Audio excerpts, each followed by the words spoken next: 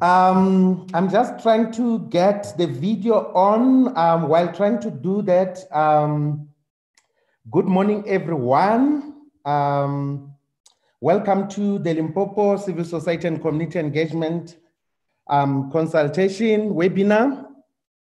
Um, am amukela ka nongonoko wa namuntlha ro va tanganedza ka beka na ya namusi le amukhetso we are going to start with the webinar.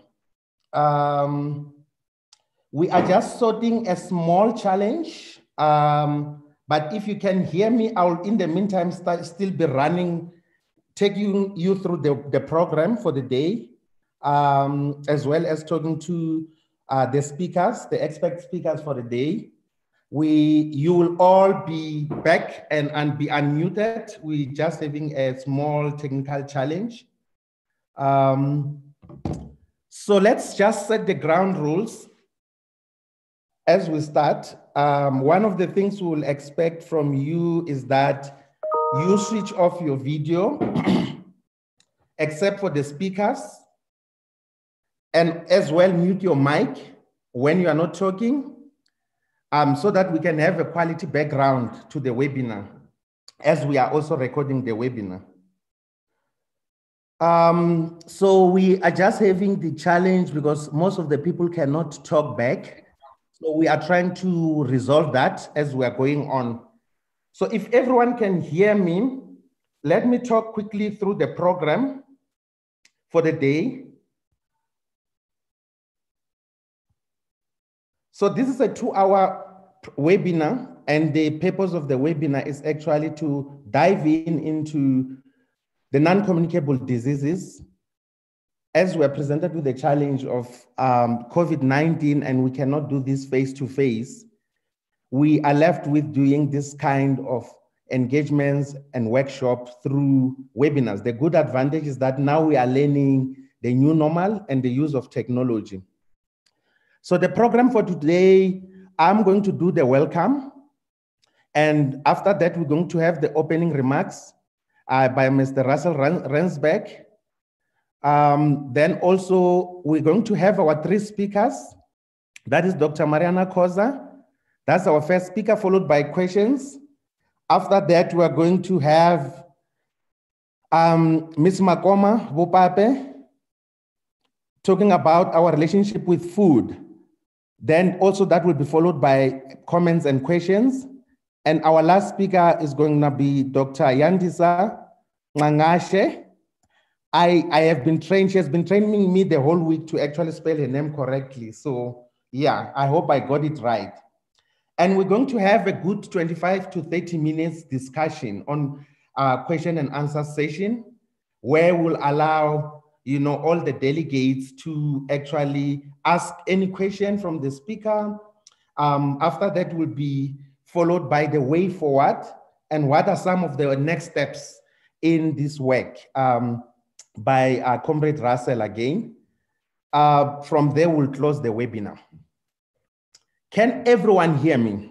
Just want to check that, that I'm not talking to myself.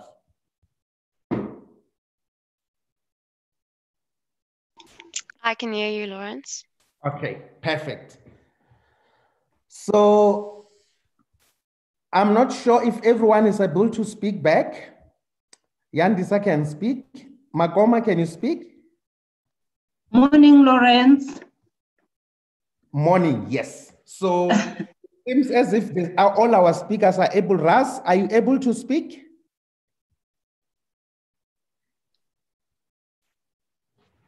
Yes, I am able to speak. Can you? Okay. thank, so thank you, Lawrence. Like all, all our key speakers will be able to speak. So what I will propose is that when, while we are still sorting out the video, um, we can we can actually start um, with the session. Um, and I hope all the delegates can can can hear me. It's not only the speakers who can hear me. And I will check that with the group um, that we have with the with the comrades in Limpopo. Just let me know, comrades on the group, if you can hear me.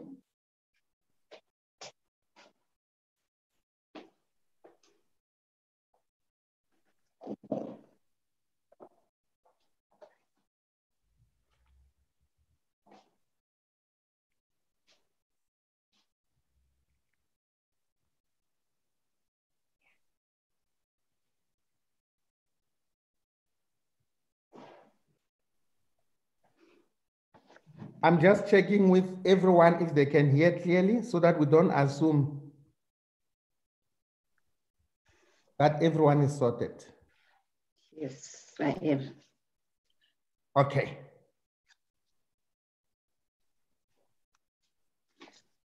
Yes, everyone can hear us. So I propose that we start, right? The video technology will find us on the way.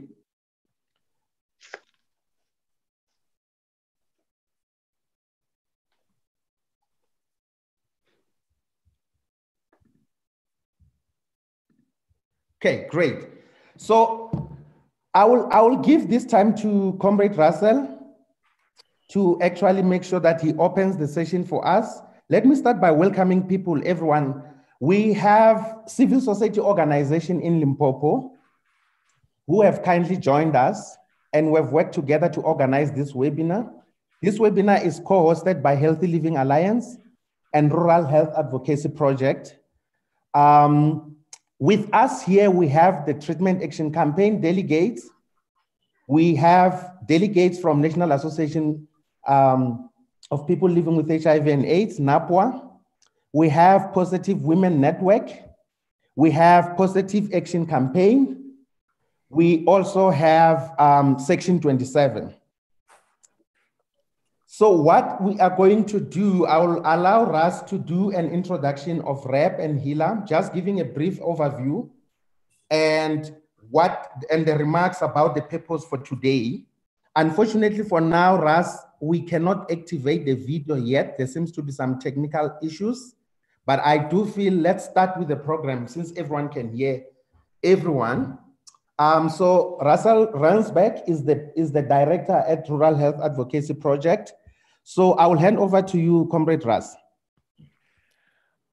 Good morning, everybody, and, and comrades from Limpopo who have kindly joined us, and thank you for the opportunity for this opening address. Um, look, the last couple of weeks or months have been really challenging for all of us South Africans. You know, I think recently we started hearing more about the impact of non-action on non-communicable diseases and what it's doing, not just to overall mortality, with diabetes now being the second leading cause of death after TB in South Africa. You know, but now also with COVID, we found out that people living with diabetes and untreated diabetes, particularly, are at increased risk, almost up to 13 times, if they should contract COVID. Now, this is really, really problematic because currently in South Africa, there are over 4 million people living with diabetes, but our treatment coverage is only 30%. So only a third of all people living with diabetes are currently on treatment. And those are the ones that know that they are living with diabetes. So as, but diabetes and deaths around diabetes is absolutely preventable if people access treatment or implement measures that prevent the onset of diabetes, like watching the kind of things that we eat, be by getting tested and being aware of what the criteria for testing is, and also making sure that our living environments are such that we are able to respond in a way. So I think this consultation and collaboration between um, rural, the Rural Health Advocacy Project, which, as you know, is, is a project that advocates for equitable access to quality healthcare for rural communities, and the Healthy Living Alliance, which looks to put um, non-communicable diseases, particularly diet-related non-communicable diseases like hypertension, diabetes, and so forth, into the public spotlight, an opportunity to start talking about a greater health system response and the role of us as organizations to work with our communities in advocating for a more considered response to diabetes and other diet related non communicable diseases. And some of the things that we hope to look at is look at the relationship between food and health and what's in our food and how our diet transition is contributing to greater burdens of disease, as well as some of the measures that we can implement at the local level to ensure that we can actually start addressing this pandemic in much the same way as we did in the, in the 2000s where we are now, where we have over more, more than 4 million people on HIV treatment, which in 2002 seemed like an impossible task. But our work is not done, and I'm hoping that with this consultation and further consultations forward, we can start working together to expanding our advocacy to deal with much, much more of the health problems that we experience at a local level. Now, I'd like to, to, to, to, to end there and wish you all well over the, the, the course of this presentation. And please, let's keep these engagements open so that we can continue to talk about it. Dr. Khoza will be introduced by Lawrence, and I'm sure she'll give us more of a, a public health insight into exactly what this pandemic is about, or epidemic in, in the case of non-communicable diseases. But I, I really believe that it's time that all of us become a little bit more educated around what are the risks out there and what are the kind of things that we should be working together to ensure that the broader public is aware of some of the measures that they can take and the government can implement the kind of regulations that protects us from future pandemics like COVID. Right now, we've been exposed. Our lack of response to non-communicable diseases and the government's lack of response to it has really put us at risk. And over the next 6, 12, 24 months, depending on who you speak to, we are in increased risk. And now is the time for us to act on this. Thank you very much for your time. Over to you, Lawrence. Thanks so much, Comrade Russ. This is really appreciated. Um, just still also checking is can ever if everyone can hear us. We do have the chat box. Um, if you look on your webinar, you will see participants, you will see chat, you know, record. If you have any issue, you can chat on the um, on the chat tab to just let us know what issues you could be having. Um, another thing is if you have any issues also, we have the WhatsApp group for the leaders of civil society in Limpopo. So if you have any issue that you want us to resolve, you can actually chat with us on that group. We seems to be in the full fledged. I'm excited and I'm really looking forward to um, further engagement on this session. Um, I'm the son of the soil by birth, actually not even politically, born in Limpopo. So I'm really excited and hoping and looking forward to having this conversation. And comrades, please engage, please ask questions, please um, express yourself. And just maybe to put a note that we will use English as a medium of instruction, but this should not prohibit everyone, anyone from expressing themselves in their mother tongue and translations will be provided. Anyone who can express in English, it's fine, but we don't want a language to be, uh, to prohibit people from participating. Let me take this opportunity to introduce our first speaker. That is Dr. Mariana Khoza. She is a first year public health um, medicine registrar at the Department of Community Health. She graduated as a medical doctor in 2015 and completed an internship in KZN. In 2018, she moved back to Johannesburg to complete a community service. Her special interests are public health care, mother and child health, and HIV and AIDS. Dr. Khoza holds two postgraduate diploma from College of Medicine, South Africa, one in child health and the other one in HIV management. Dr. Khoza, the floor is yours. Um, you can take us through your presentation, talk to us.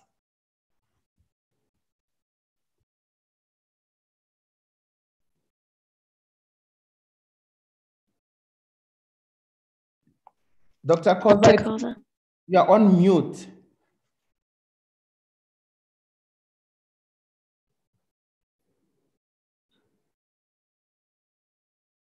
So please unmute first.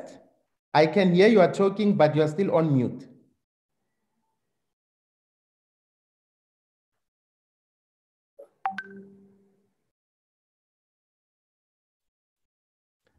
You are still on mute. So unmute the mic.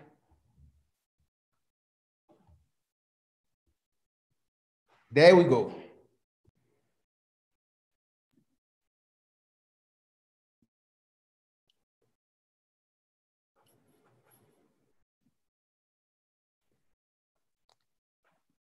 Hi, everyone. Can you hear me now? There we go.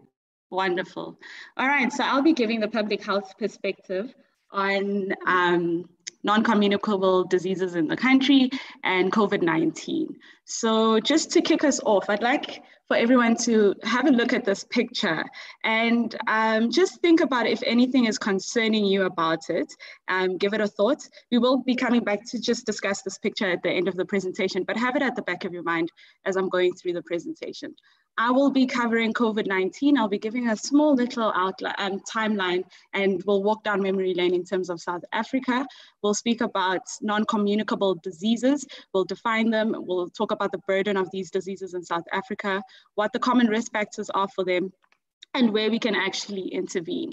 So just to kick us off, um, coronavirus has been with us for only about five to six months. It feels like it has been forever, but actually um, it was in December where in Wuhan, China, we found out that there was this weird pneumonia that was going around. And WHO then announced on the 7th of January that there's a new strain of coronavirus that is going around initially it was thought that the strain was um, transmitted from animals to humans, but later um, it was confirmed that in fact it is human to human transmission. And the numbers were just going rapidly up and it was all over the news, it was all over social media and we were all worried about it. And by the 11th of March, the WHO had declared the COVID-19 outbreak a pandemic. Pandemic really meaning that the virus had spread from that small town in China to other countries in the world and that everybody now had to take precautions against it. So on the 5th of March, and this is where the South African story starts, we then first had our first case, which was an Italian gentleman.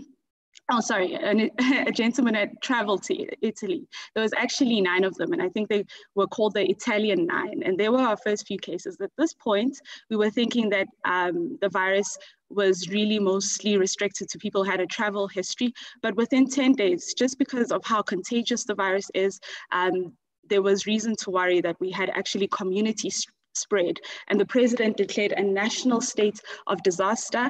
Um, if any of you have children, you'll know that your children are probably excited because on the 18th of March, schools were closed. Um, I'm sure the kids were not aware that, or were not, um, were, were not ready for how long schools would be closed for. Um, but you know, with the increasing numbers, the president then decided that a national lockdown um, should um, take place to ensure social distancing and to ensure that we flatten the curve. So the understanding here is that we do understand that at some point up to 60% of the country will be infected by this virus.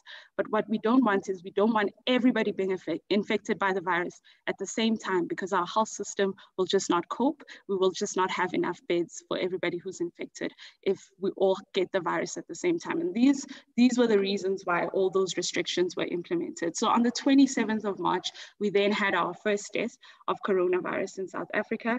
And where are we now?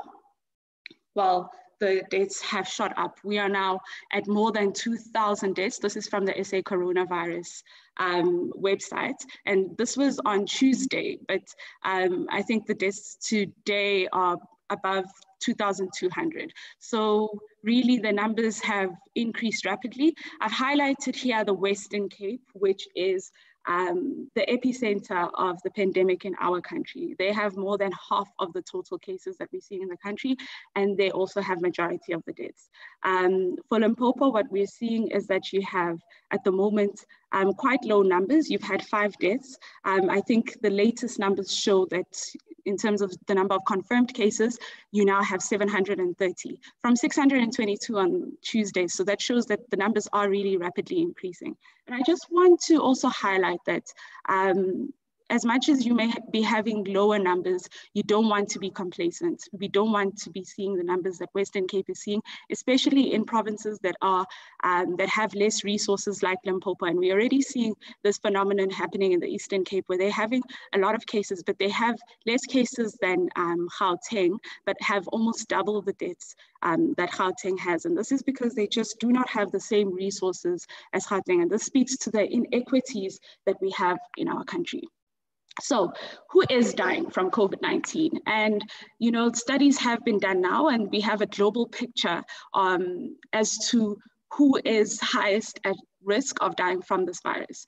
Um, so studies are showing that males, especially males over 50 years old, are more likely to die of the virus than females. But in fact, really anybody who's over the age of 50 is more vulnerable um, to the virus. This is the big one. People with chronic comorbid conditions, people with um, comorbidities, especially um, lifestyle related diseases, your non-communicable diseases, and I've listed um, the top four um, on a global picture that have, that have been um, associated with um, increased risk. Diabetes, number one, right? High blood pressure as well, chronic respiratory conditions. So this is people who already have damage to their lungs because of either asthma or smoking, as well as coronary heart disease. So um, that, that's what we're seeing on a global picture, but we have been having quite a few deaths in South Africa. So um, there's a preliminary study that's being done now currently in Cape Town, and it's starting to show us the South African picture. And um, so before the virus came to the country, we were really worried because we have such a high prevalence of HIV and TB in the country. So we were worried about that population and we were scared that it would impact that population the most. But what we are seeing is we're seeing quite a similar picture to um, what's happening globally, which is that people with lifestyle diseases, again, diabetes, are the ones who are at highest risk of um, dying from this um, coronavirus. So men, again, are more 40% more likely to die of COVID-19 than women. 50% of the deaths, of that more than 1,500 deaths that we've seen in Cape Town, 50% of them have been in people who have diabetes. Mostly people have uncontrolled diabetes, um, but the study um, authors do still state that just having diabetes still puts people at a higher risk of dying from coronavirus um, if they get it. High blood pressure, 19% of the deaths that are happening in Cape Town are a result of high blood pressure. Interestingly enough, um, we were worried about um, our HIV population, but we're seeing that um, only 12% of the deaths have been in people infected with HIV. The authors of, authors of the study also state, though, that um, this particular HIV population that has died from coronavirus um, are people who've been living for a long time with HIV. There are people who are on ARVs, and because they've been living for a long time, they've actually developed lifestyle diseases such as diabetes and hypertension. So they mentioned as um, the HIV group, but in fact, they also have underlying illnesses that have made them um, very vulnerable to the virus. Chronic kidney disease, diseases, apologies there for the um, the missing word, which is it's meant to say 9% have been dying from chronic kidney disease, and then 2% um, from active TB. So the TB and HIV population hasn't thus far as we've seen has not been as affected as what we were expecting. Again, it is the people with lifestyle diseases. What causes deaths in our country? Um, you know, outside of this coronavirus picture, what are people dying from? And um, you may have heard of a term called the quadruple burden of disease. Quadruple meaning four, and basically what that means is that um, there's these top four main causes of deaths in our country. These are not in order of which one um, is killing people the most, but these are, this is what we're struggling with in South Africa. So HIV, AIDS, and TB. HIV, not so much anymore with the introduction of ARVs, um, but it is still um, a problem, definitely much more than uh, in other countries. Non-communicable diseases, and I have that highlighted. And non-communicable diseases, um, as you can see on the slide, are the leading cause, cause of death, not just here in South Africa, but globally as well. These lifestyle related diseases. So each time, whenever I say non-communicable diseases, what should be popping in your, in your mind is lifestyle related, um, because these are diseases that are really as a result of what we're eating, whether we're exercising and the habits um, that we have um, or are partaking in such as smoking and drinking. Um, high maternal and child mortality is still a problem in the country and high levels of violence and injuries. And really, if you look at these four causes, these are very preventable deaths. So we're having premature deaths in the country that are preventable.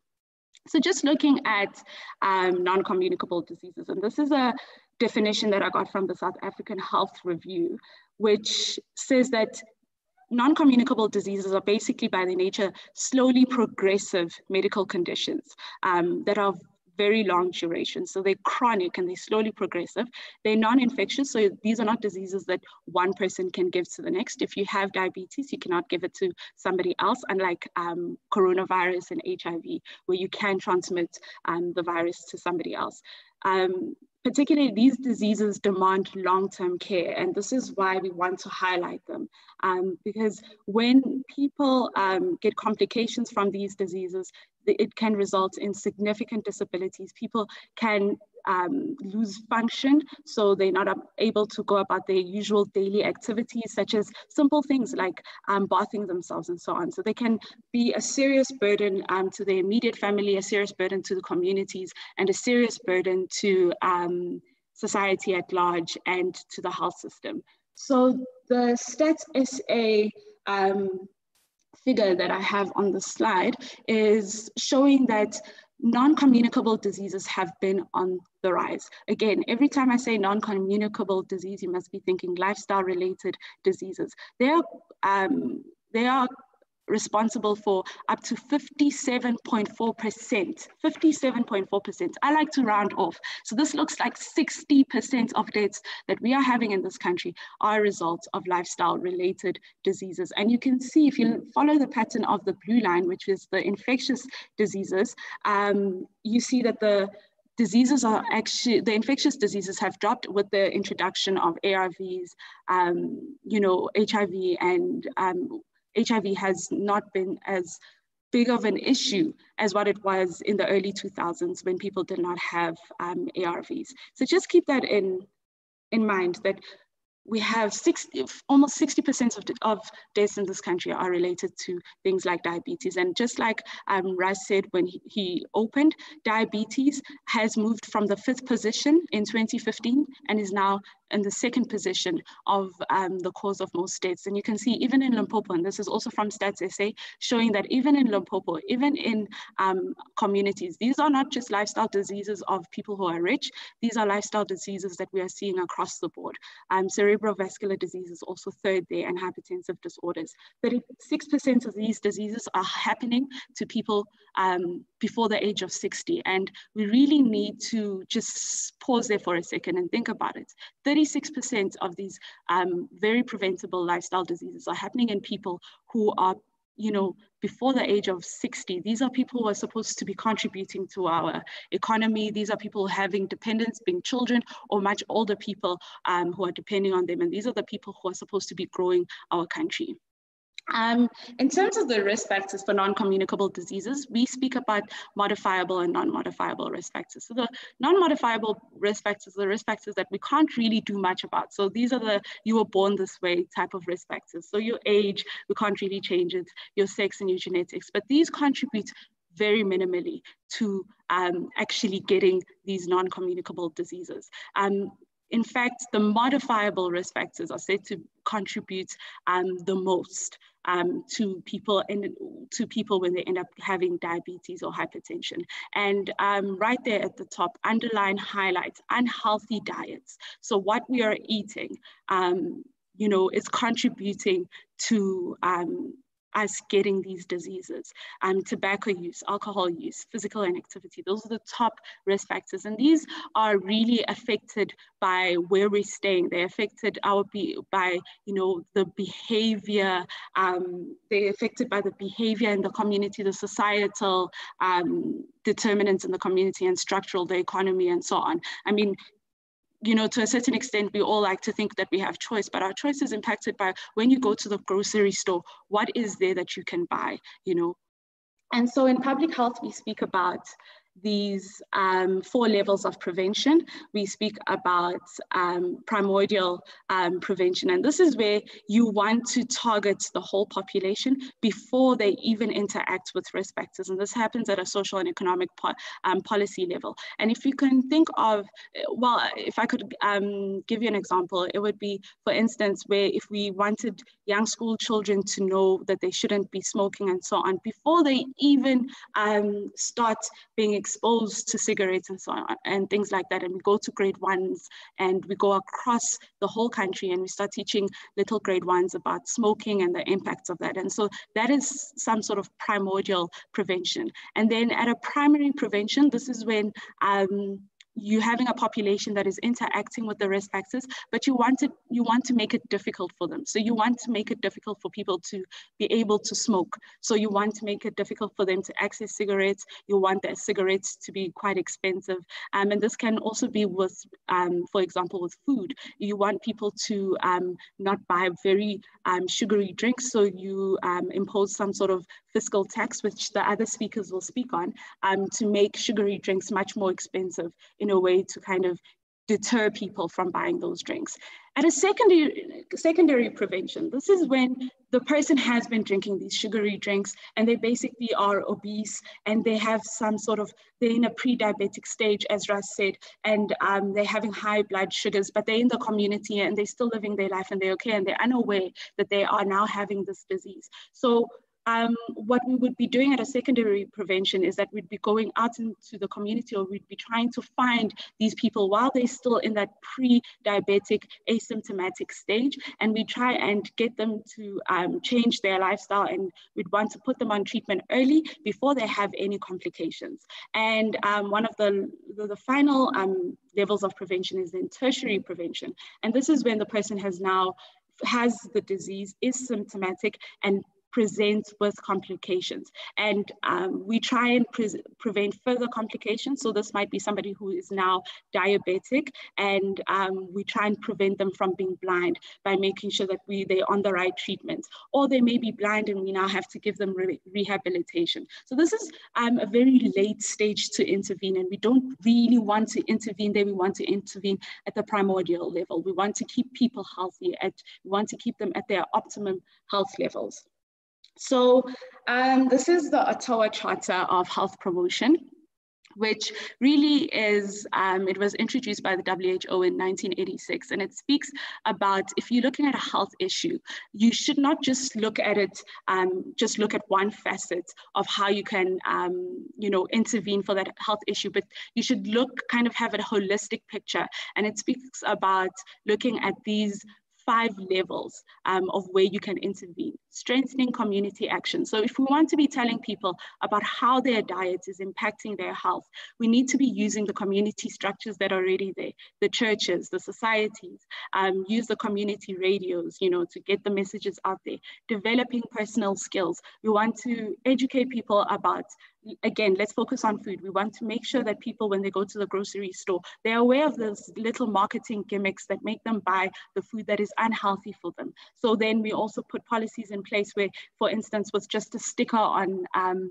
you know, uh, on a bottle or something, they can know whether that, um, whether that's food or what, whatever they're buying is good for them or not, depending of, for instance, we can color code it. If it's red, they know, oh, this is something that might be dangerous for my health. If it's green, oh, this is something that's healthy. So you empower people so that even when they're making choices at an individual level, they're able to make healthy choices. Creating supportive environments is one of my favorite ones. And basically what it means is that we need to make the healthy choice um, the easy choice. You know, it's no good saying to people you need to be eating healthy. You need to be um, you, you you shouldn't be drinking sugary beverage, beverages. But when they go to their local supermarkets and when they go to the shops um, the only thing that is available are sugary beverages. We have to create environments where they have other options. You know we have to make sure that the environments are healthy environments. Um, reorientating health services this is really, really important. And in um, South Africa, we are speaking about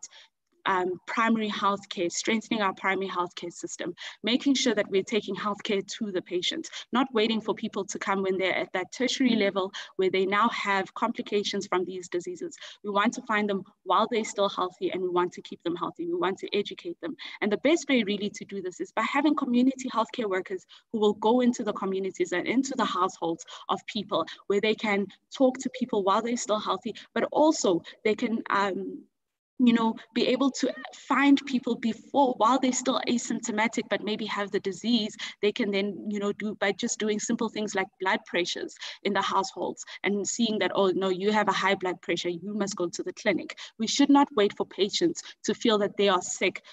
Um, you know, for them to then come to the hospital and then that's when we intervene because it is then too late. And these patients again are a huge burden on the economy, they're a huge burden on families.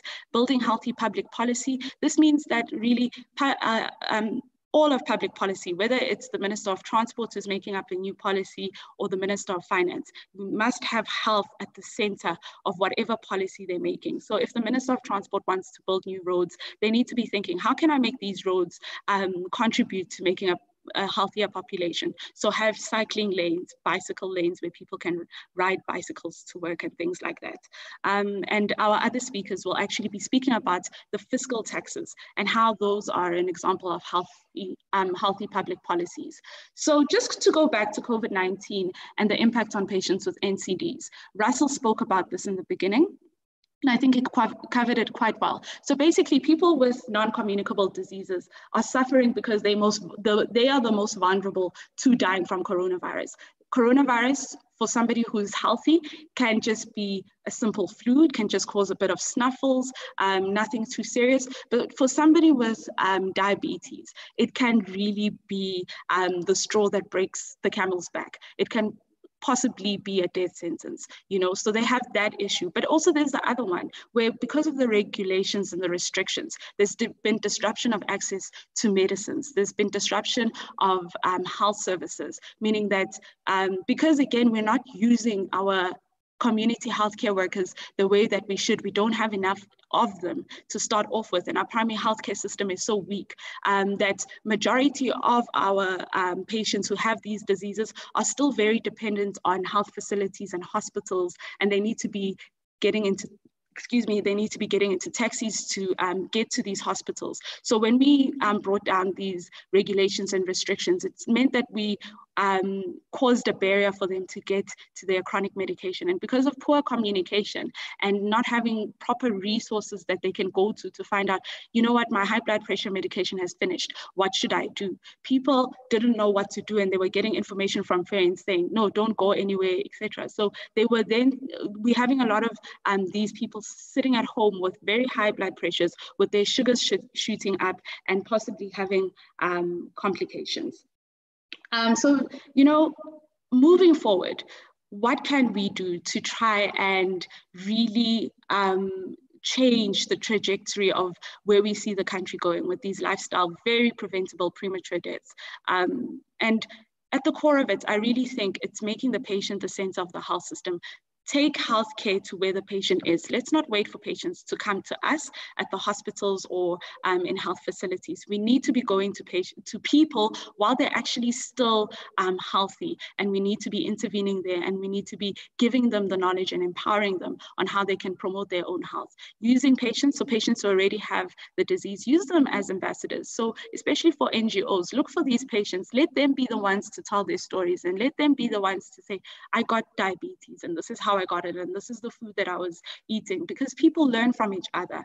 And the other really important thing is understanding the cultural backgrounds and linking that to health policies. So the government is aware that um, South Africans are dying from very preventable um, deaths of these non-communicable diseases. And they've put in quite a lot of policies, but we need to start asking questions is, are these acceptable to the end user? Do these, um, are these acceptable to the end user and do these um, are they, are they, do they somehow translate to the end user? For instance, in Limpopo, um, there's a high usage of tobacco, but not in people don't necessarily smoke it, especially in the villages. Um, there are women who um, use snuff. So when we have policies and we say, don't smoke, you know, are we reaching those people that are using tobacco products, but they are just not smoking them? And how do we then make policies that speak to um, those people? Using already existing resources, um, such as families, community partners, NGOs,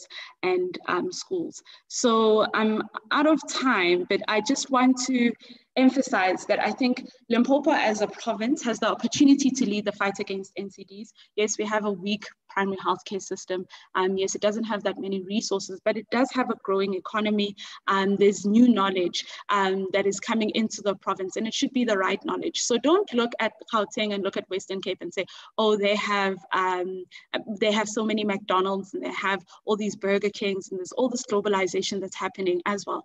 But and say that you want to start bringing those economies into um, Limpopo. If it's if it's going to be threatening um, the health of the population in your province. You should then start um, thinking about how you can create your own economy, have your own malls that have their own um, takeaway um, restaurants, but are healthy restaurants. Um, the Limpopo has great community programs such as the Gogo so soccer teams, which are really great. Um, it's quite popular and you need to be strengthening these type of programs. Have the Gogos play against their grandchildren. Have um, young ladies who, you know, are amongst the people with the highest levels of obesity also participating in these programs. Supporting local produce. There's no reason why anybody should be living next to a farm that has vegetables, why they should be paying much higher prices. So it's again advocating for the fact that um, people are living in spaces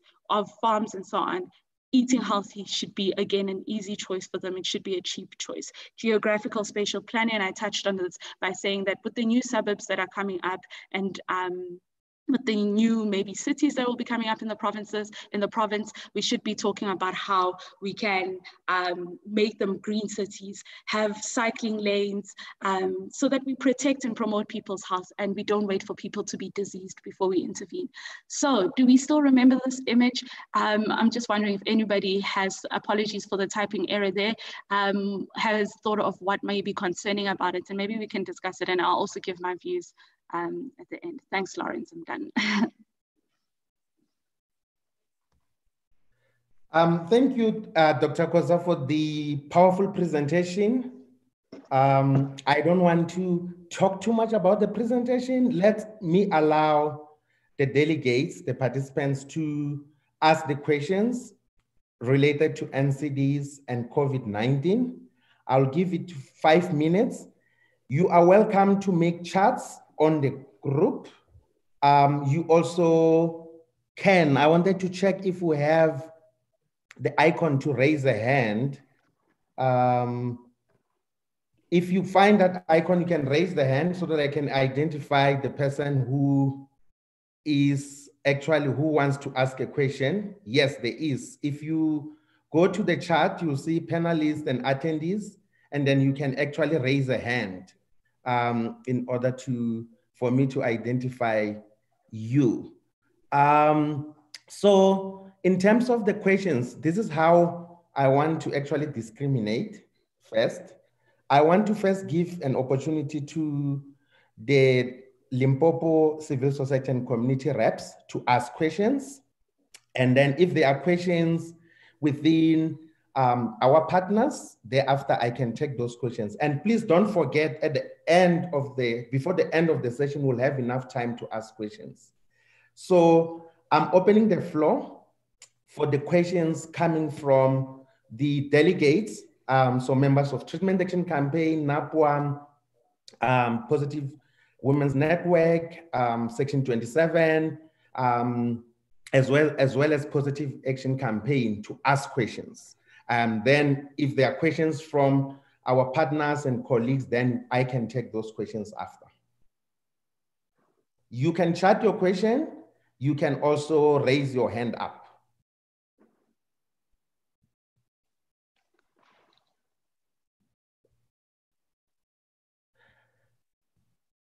I see a question, a hand up from Tabo Mulelekwa. I haven't got seen any hand up from the delegate, so I will take the question from um, Tabo Mulelekwa. Okay, um, can you hear me? Yes. Okay. Um, I, I think uh, Dr. Khoza mentioned this, but I'm not sure if I um, uh, uh, uh,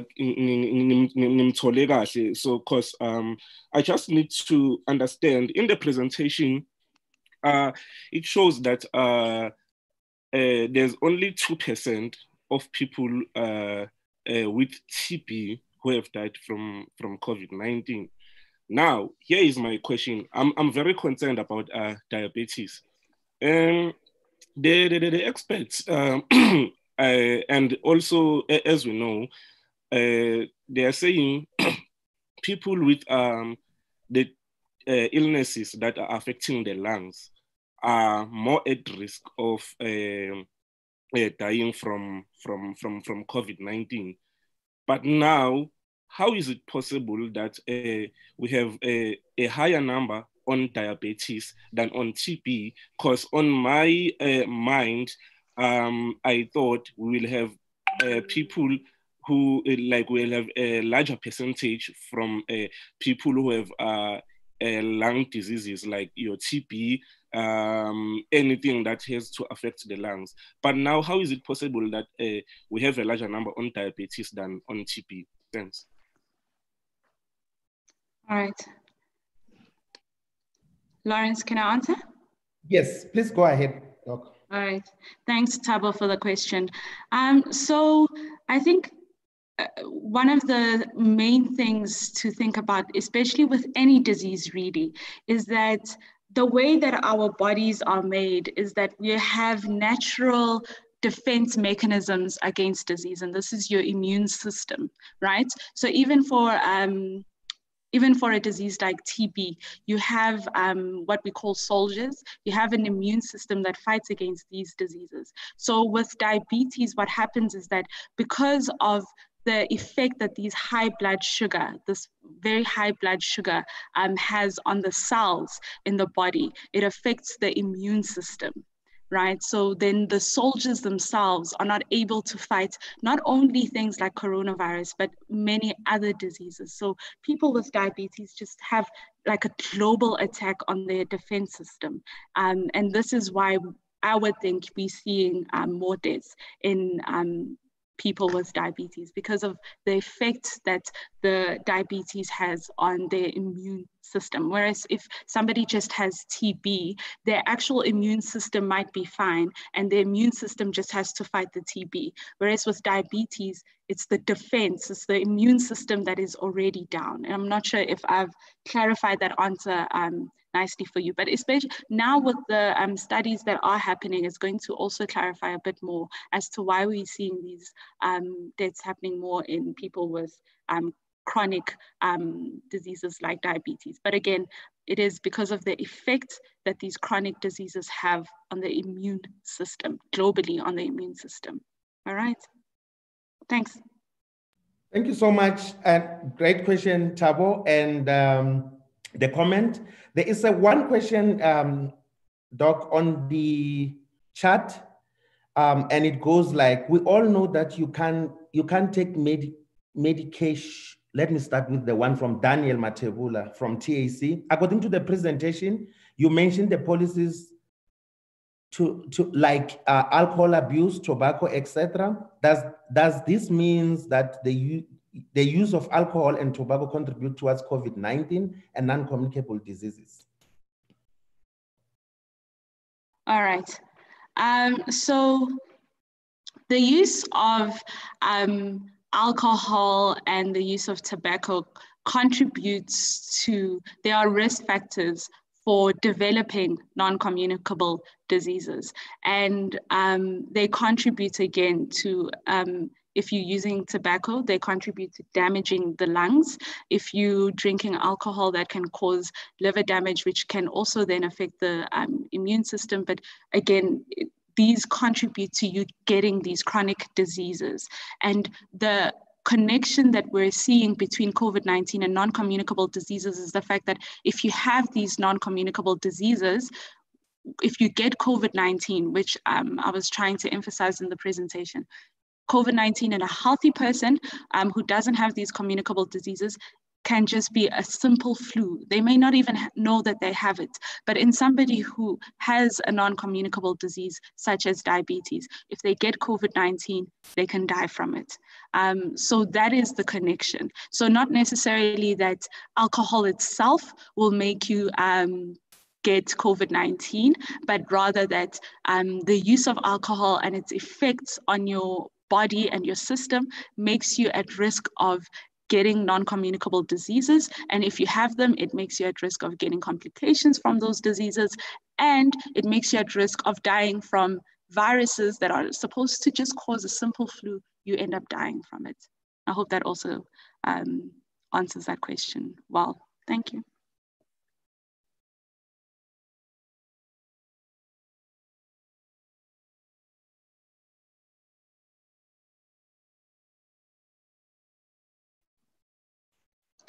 Thanks, Lawrence.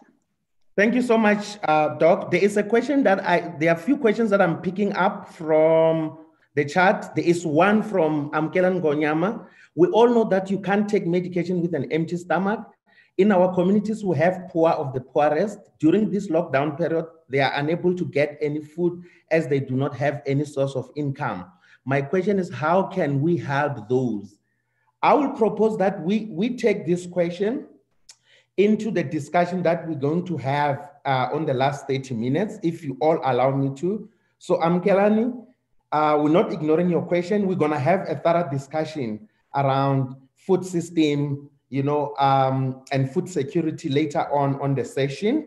Um, so if you allow me, Doc, I would like us to pack that one, uh, but just note it and, and process it in the meantime. There is also a question, um, from, I think it's a question or comment from Vicky, Dr. Vicky from NCD Alliance. NCD meds not on CCMDD. Government only has um, one 1.2 million out of 3 million communicable clients. Equity now, no equity. Um, I think it's that's more of a comment.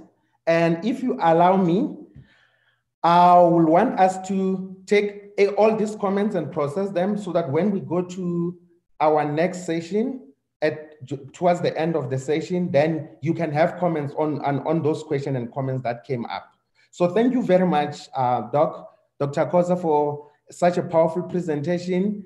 Um, I still want to welcome the participants to ask questions. If you are on YouTube channel and you feel you, you, are, you can't find the chat box, please ensure that you send your question either through WhatsApp so that we can get the, your question to the panelist. And to my panelists, please look out on your private inbox so that I can help you advocate and manage time. So when you are presenting, we'll kind of like be giving you guide in terms of the time, how you are doing on the time, um, so that we can keep all our presentation on time. Thank you very much, Doc. And um, I want to applaud you for the lovely presentation. Let's go to the second presenter, who is Miss uh, Makoma Bopape. Miss Makoma uh, Limpopo, she's a daughter of Limpopo. Um, she's a lecturer at the University of Limpopo, the Department of Human Nutrition and, and Dietetics. She is a dietitian by profession and has passion in infant and child nutrition. She also has um, interest in obesity prevention. She's a registered uh, postgraduate student at the University of Western Cape, UWC, and is actually engaged in the obesity, in the local obesity prevention project that HEALA and RHAP is part of. Ms. Bopape, if you can hear me, please activate your video and unmute your mic. And the floor is yours. Um, thank you, Lawrence, and good morning to everybody. Okay, as mentioned, my name is Makoma. Um, I stay in Polokwane in Limpopo province and welcome everybody to the Garden of Eden. I wish I could send you some avocados, but unfortunately it's not possible because of the distance. So the topic that I've been asked to address today is the relationship between diet and health. I was actually thinking this morning, reflecting on how much money I spend on food, because I was thinking uh, diet and health. And the question that I wanted to ask you, you don't have to respond, is how much money you spend on food per month? And what is it that we buy every month? And what effect does the food that we buy have on our health? So as, as, a, as a way of introducing my pick, I want us to reflect on two questions which are not coming up now. Um, so the first question that I want to ask as I'm still grappling with technology is, um, in your opinion, do you think diet, and when I say diet, um, I'm not referring to what we use to lose weight, I'm just referring to the food that we eat. Do you think there's any relationship between what we eat and our body weight? There we go. Um, can we reflect a little bit what we eat and, and our body weight? Is there any relationship? Or is how I look dependent on who my parents are or what I'm supposed to weigh? I will weigh irrespective of what I eat. So this is a question that I'm posing to all of us. And if we can have two people um, respond to, to this question before we move to the next one, if there's really any relationship between food and disease. So I'd like to start with the first one, Lawrence.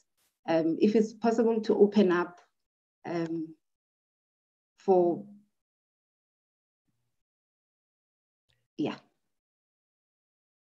So yeah, so the question is, is there any relationship between what we eat and our body weight? Great. So the floor is yours. I'm trying to check if there's anyone whose hand is up. If you are unable to activate the hand up, you can actually just go for it, unmute your mic. Um, let's please allow people to unmute their mics and, and actually make comments to the question.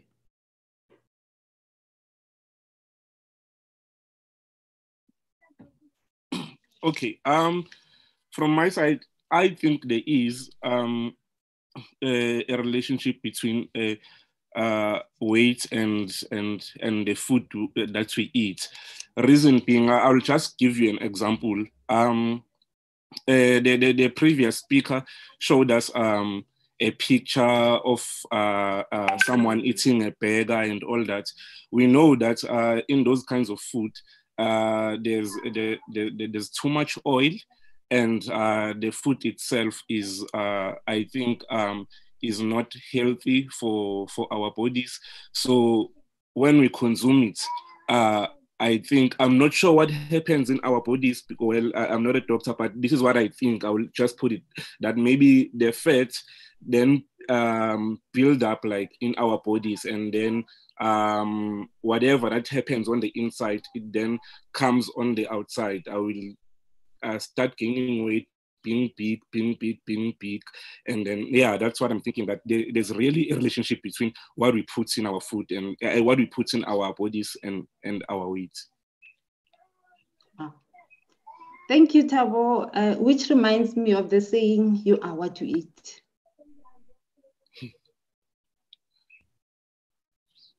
Thank you. Um, and there's also a response if you eat unhealthy food, um, like magwinya and chips and sweets, you're gonna gain weight. Perfect.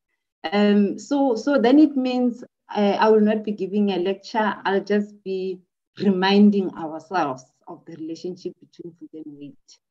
So, as a way of discussing my topic, um, so this is the presentation outline uh, sorry about that. I'm going to be talking about diet on weight and health status, what causes overweight, obesity, and NCDs, like it was covered in the previous uh, presentation, which is non-communicable diseases. All the time when I say NCDs, please just know I'm talking about non-communicable diseases.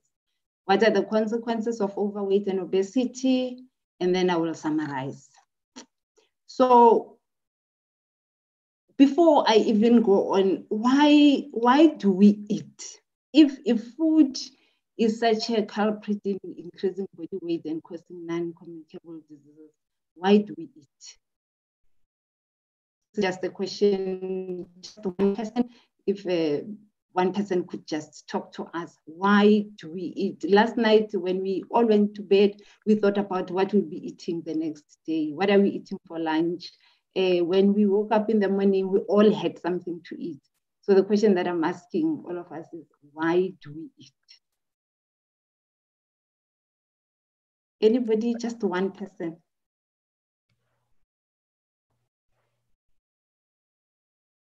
You can just unmute and speak if you can't find the,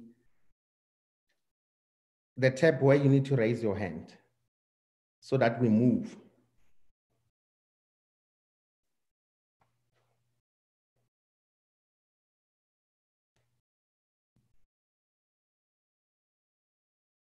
Seems as if there's no comment up to this far, Makoma. Uh, okay, this one we eat because we need energy. Otherwise, I wouldn't be able to talk to you right now if I wasn't, if I didn't have my breakfast. So, so these are the two main reasons that I thought we should talk about. Why do people why do people eat? The first one I thought it's for social interaction. Let's look at it there. Um, what I have noticed is food brings people together. If there's a gathering and you'll hear people saying, will there be food? If there's no food, people will just say, no, I'll pass. Why bother calling us if there's no food? So one of the big things about eating is it creates that bonding. Um, it creates that social togetherness. I don't know. It looks like when we're eating, there is this um, happy juice, this happy juices that just flows from everybody. That is why when you read health books, uh, we are always advised to eat together as families because it is a great way to distress at the end of the day. It is a great way to uh, chat with our kids. It is a great way uh, to strengthen family uh, bonds. So one of the things that food brings to all of us, it makes us happy. Think of the times where you share food with people, how you feel at the end of the day. You feel relaxed, you feel happier, you feel uh, more satisfied. So that is one benefit of eating together. But of course, the greatest one is we want to provide our bodies with nourishment.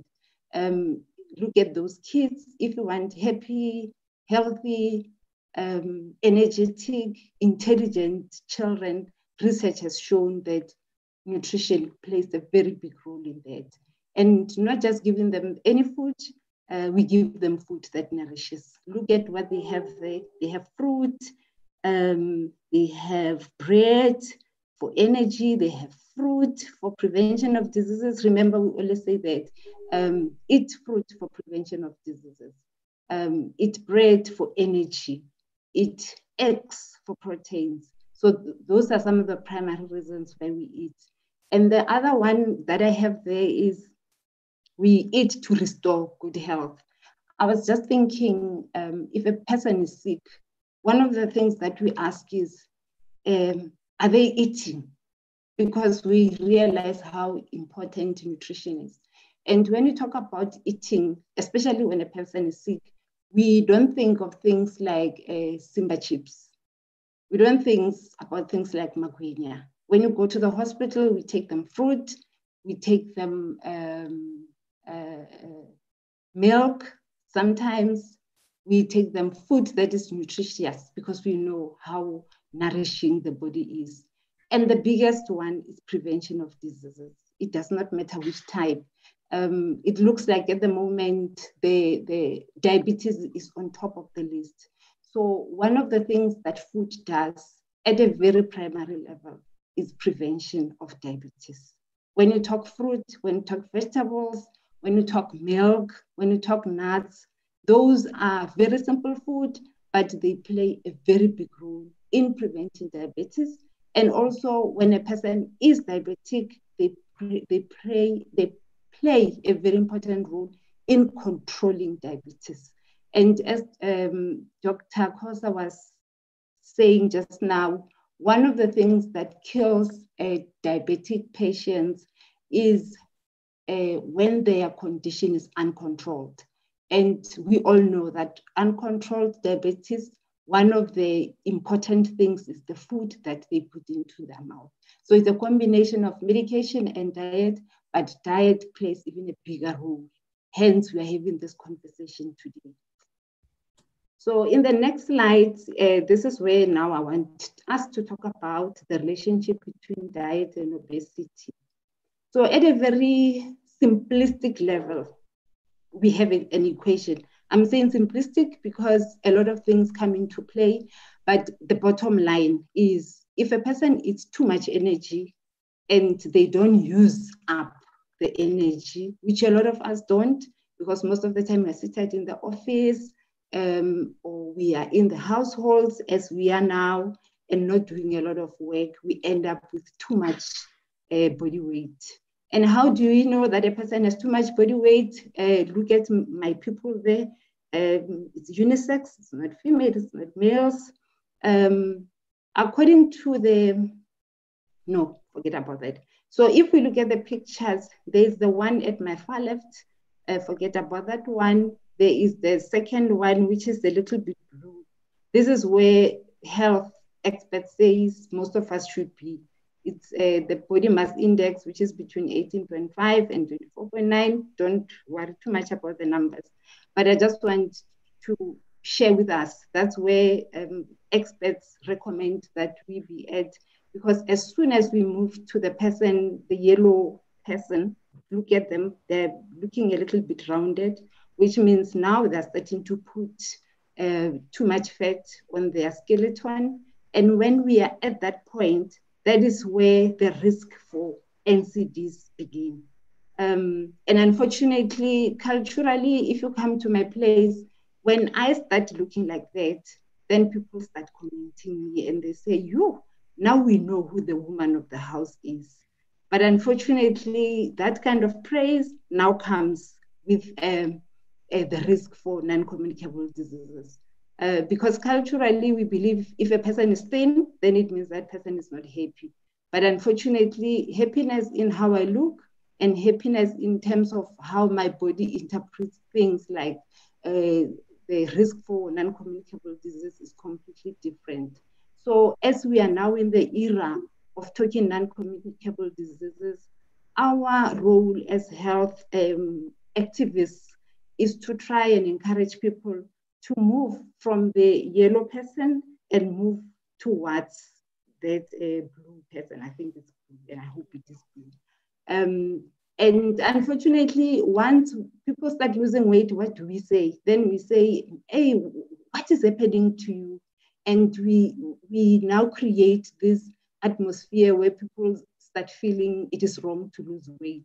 So as health activists, our role is to go, go out, advocate for healthy body, uh, body weight without any stigmatization.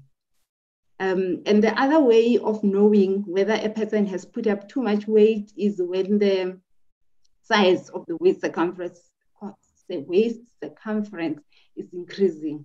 Um, I always make a joke that if you find that now you are starting to shift the, the button on your belt, get worried because then it means you are getting too big. Um, look at my skeleton there. There is some yellowish substance next to the to the to the bones. And a lot of people, when they start gaining weight there, they say, Hi, and unfortunately, that is not money there. Money is in the bank. What is there is body fat. And research has shown that the fat that accumulates in the belly is the worst of, because that is the one that increases the chances of non-communicable diseases. So ladies, if we find that we are starting to adjust our uh, skirts, then we know we are at a high risk of non-communicable diseases. And just to, to share some statistics, uh, in 2016, statistics Statistics South Africa found that in Limpopo province, seven out of 10 women were either overweight and obese, and that's a big number. Um, and I was, and as I was reflecting, I was thinking, is it because we eat twice before we start eating? Like when we are cooking, Then we have that pirinki where we taste meat and then put a little bit of pap. And once we are done with vegetables, we also taste that with pap before we can actually sit down. So these are the kind of things that we should start teaching and advocating, um, especially amongst women. Um, because one of the things that I have noticed is when you go to the clinic, you see more and more women being diagnosed with diabetes. And in terms of men, statistics in South Africa says in 2016, but the numbers have increased now.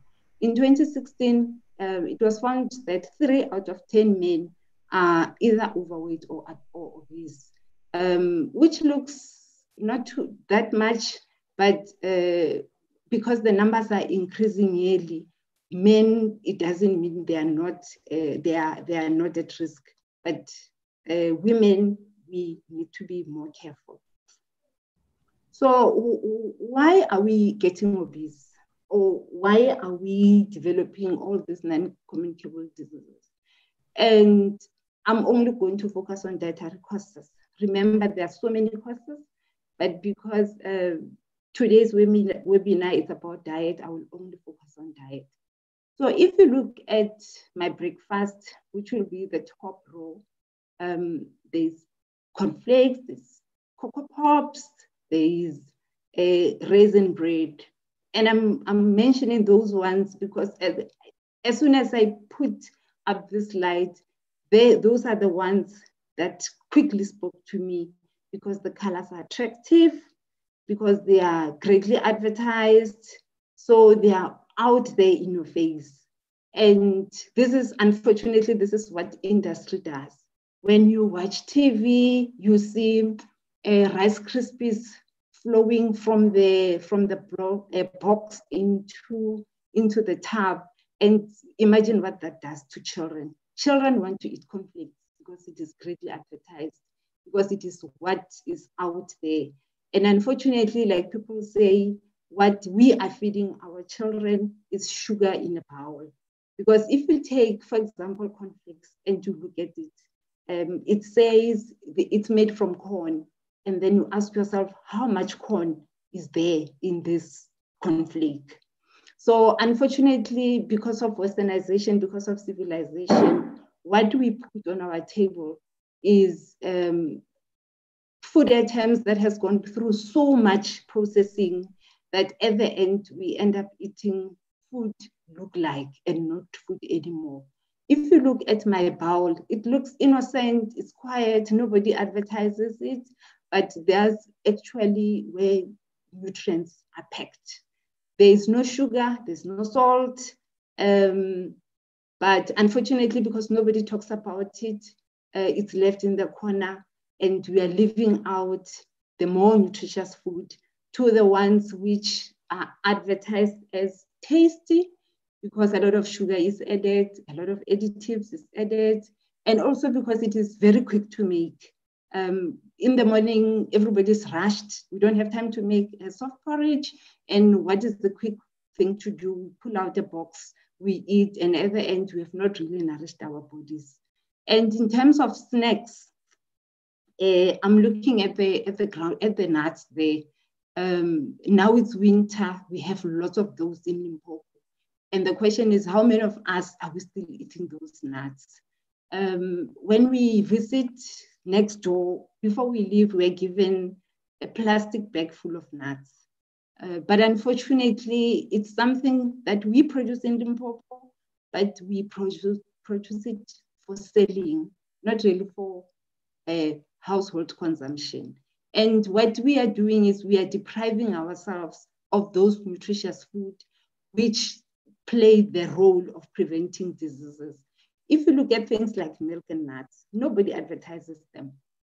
If you look at yogurt, which is supposed to be made, which is made from milk, but if you really think about it, how much milk is there in, in uh, how many, how much calcium is there in, in, in yogurt compared to what one would find in milk.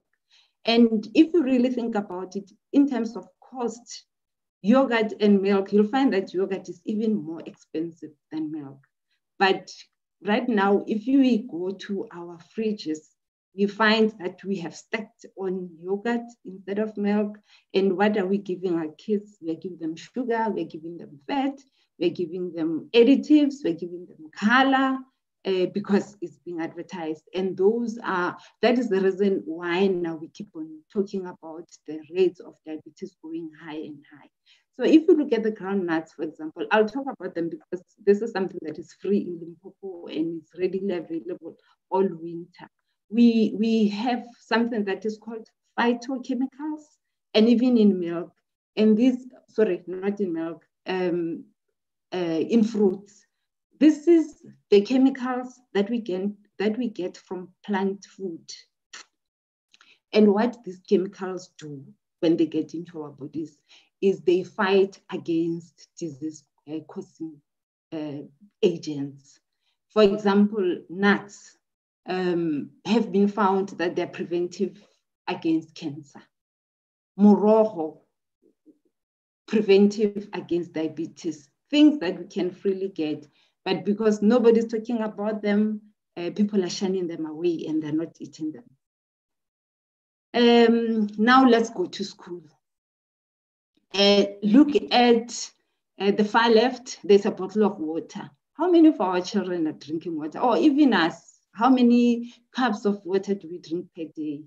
We, we, we, we, we, we have bought into the idea that when our kids go to school, we go to the supermarket, we buy boxed juice because it's in fashion, because it is easy to carry, because we have um, acclimatized our kids to drinking juice instead of water. And what are we putting into that time? It's, it's sugar, again, it's flavorants, um, and one other thing that we do, if we go to, like, like when we're buying groceries, I have noticed that we buy this bag that has 30 packs of um, Simba or it was there. Some I don't even know their names. When our children start going to school, they carry these small school bags and let's just reflect we put in the school bags. It's either lollipop, sometimes we even go to an extent of buying a box of lollipops and then put them in the in the bag. And now we're talking about that's going high. And even ourselves, when we are thirsty and we want to quench uh, the thirst, how many of us reach out for a glass of water? It's Coke, it's fruit juice, which we think is 100, because it's written 100%, we think it is healthy. Let me tell you, it is not. It is full of sugar. So those are some of the things which increase the prevalence of uh, NCDs. And the worst one is money. Um, so many of our kids don't want to take a scarf tin to school. They want to take money. And the question is, what are they buying? Because schools do not sell bread and peanut butter. Um, schools do not sell soft porridge. They buy pie, they buy Vetkoek, they buy chips. Um, so those are the eating, our, our current eating habits. Even ourselves, when we go to work, how many of us still take um, leftovers from yesterday? We take cash, and what we buy with cash, food for thought. And then we come back home. Um, now, what are we eating for supper? Um, my favorite is the one in the middle because um, all that I do is to buy a bag of mealie meal and that's my moroho, which I pick, which I pick at the back. And look at the one, look at my plate on the left-hand side. Colors have changed. We add color, we fry chicken, we fry beans, and, and that is where non-communicable diseases come in. Um, and the other dietary cause of obesity is the shopping malls that are mushrooming. Um, there's that shopping mall which is now at my village. So whenever we want pizza, we quickly go there, which means now uh, we have access to all sorts of um, all this pro uh, processed food, fatty food, salty food, and so forth. And shisanyama, we have bought into the notion that for one to eat, one has to eat a lot of meat, which is not true. It's a myth. We don't have to eat meat every day. And when when people are complaining about food, they say, but we don't have money to, to buy meat. Let me tell you, um, we do not have to eat meat every day. There's so many things that we can eat uh, where we'll get all the nutrients that we will need. So in summary, I just wanted to say um, we have moved from traditionally uh, traditional food and we are eating a lot of packed food because they're easy to prepare. They, we, they can keep long, they can be eaten anytime, anywhere, and uh, it's said they're tasty um, high in, but, but unfortunately they're high in total fat, high in saturated fat, high in sugar, high in salt, no vitamins, zero phytochemicals. And food preparation is also very important. This food preparation, we always forget to talk about it when we, we educate, but it is also very, very, very important. So here I just want to share uh, there's a study that was conducted in Ellisras to check what people eat. The ages were between 18 and 30. And the first three items, if you look there, was fried chicken with skin, because we have now bought into the notion that uh, if you want nice food, you fry. Uh, and the third one, look at it, is cold drink. Think of the expense, think of the money that one could be using. Instead of buying cold drink, one could be buying a bag of orange or a head of cabbage and so forth. And this study was conducted in Soweto. They wanted to check um, what children eat when they go to school. And tops, it was fried chips, and pie, um, followed by soft drinks, etc. The 11 there, 11 males and 11 females it means um, the children were saying in a week they will eat fast food maybe 11 times. And look at the snacks. In, in a seven day period, they will eat potato crisps, crisps uh, seven times in a week. And a week has um, seven days. So, which means it's something that they eat on a daily basis. It is not just a treat. Um, so, what are the consequences of obesity? Um, this one, we have all heard about it. It's the diabetes, high blood pressure, heart diseases, uh, respiratory disease, and cancers. But unfortunately, um, the diabetes is not only caused by being obese. You can you can be of normal weight, but if you eat too much processed food, like food which is high in sugar, high in fat, you will still get diabetes. Just like high blood pressure, one doesn't have to be obese in order to, to, to get high blood pressure. High salt intake can cause um, high, blood, high blood pressure. So in terms of numbers, uh, a study was done in 2016 and it was found that out of 10 people, four people had hypertension. And this was four years back, which means the numbers have increased. And we, this is something that we really need to be doing something about it. And children, I have talk, talked about them. I just wanted to share that a study which was also done in 2016 found that out of 10 children, only five children had normal weight. The rest had a problem. Look at the number uh, of children who were overweight, which was about 13%, which is a lot because uh, research has shown that children who grow up being overweight will also grow up to be um, overweight adults. Um, so the questions, we don't have to answer them now, is um, remember early childhood, children need nutritious food for the growing uh, brains. So the messages that we need to share with the community out there is, what are our children actually eating? And even ourselves, what do we pack in their lunch boxes? What type of food is sold at the tuck shops? uh, the sweets and the biscuits, do we give them every day or are they an occasional treat? And a big question for all of us, how easy is it to make healthy food choices in South Africa? Uh, so this is the last part, one slides. Uh, then I'm asking us, which interventions do we need to reduce NCDs and obesity? Is it a question of willpower? um, if if um, if there's a choice to be made between an apple and a donut, how easy is it for a person to make a choice? Um, um, I just want to summarize this slide by using the COVID-19 era as, as an example. um, we, we, we, we have been taught about making choices as individuals, and we are not being very successful, which means individual decision is very, very difficult. Communities, um, people have been teaching.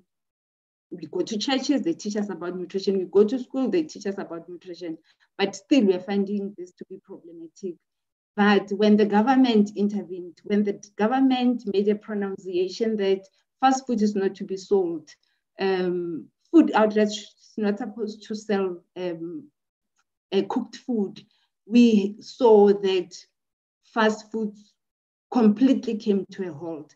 And that intervention was effective because it's something that was government driven, which uh, has now given me an idea, and this has been proven even in other countries. The next speaker will speak about it that when government comes in uh, and brings intervention, then we see more changes and even better changes and more effective changes than if in, uh, decisions are left for individuals. So in summary or in conclusion, diet plays an important role in maintaining our health status. Um, the prevalence of NCDs and obesity greatly influenced the, it's influenced by the food that we select. South Africans are relying more and more on high on food high in salt, sugar, and saturated fats, and we're not eating a lot of fruit and vegetables the incidences of NCDs are increasing and urgent, effective interventions are very necessary, especially at this point, to reduce the burden of NCDs and obesity. And I thank you. Thank you so much um, for a wonderful presentation, Makoma.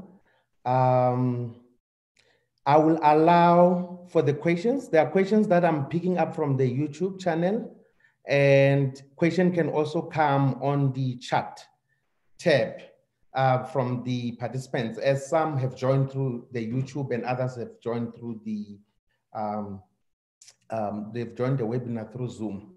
So I'll quickly take a few questions. Um, we need to move because of the time. Um, the questions that I see relate to the next speaker. I will ask us to, to pack them. And the comment, I've seen a comment talking about, let me start with the question from um, Tebogo from Positive Women Network. What is the good food that we have to eat? It's li linked to it. If I have NCD, that's the first question. The link to that is it says, what is the amount of salt that body needs? Um, so those are the two questions. I don't know if you want to quickly respond to that. Um, so with regards to diet, when someone has an NCD and the amount of salt.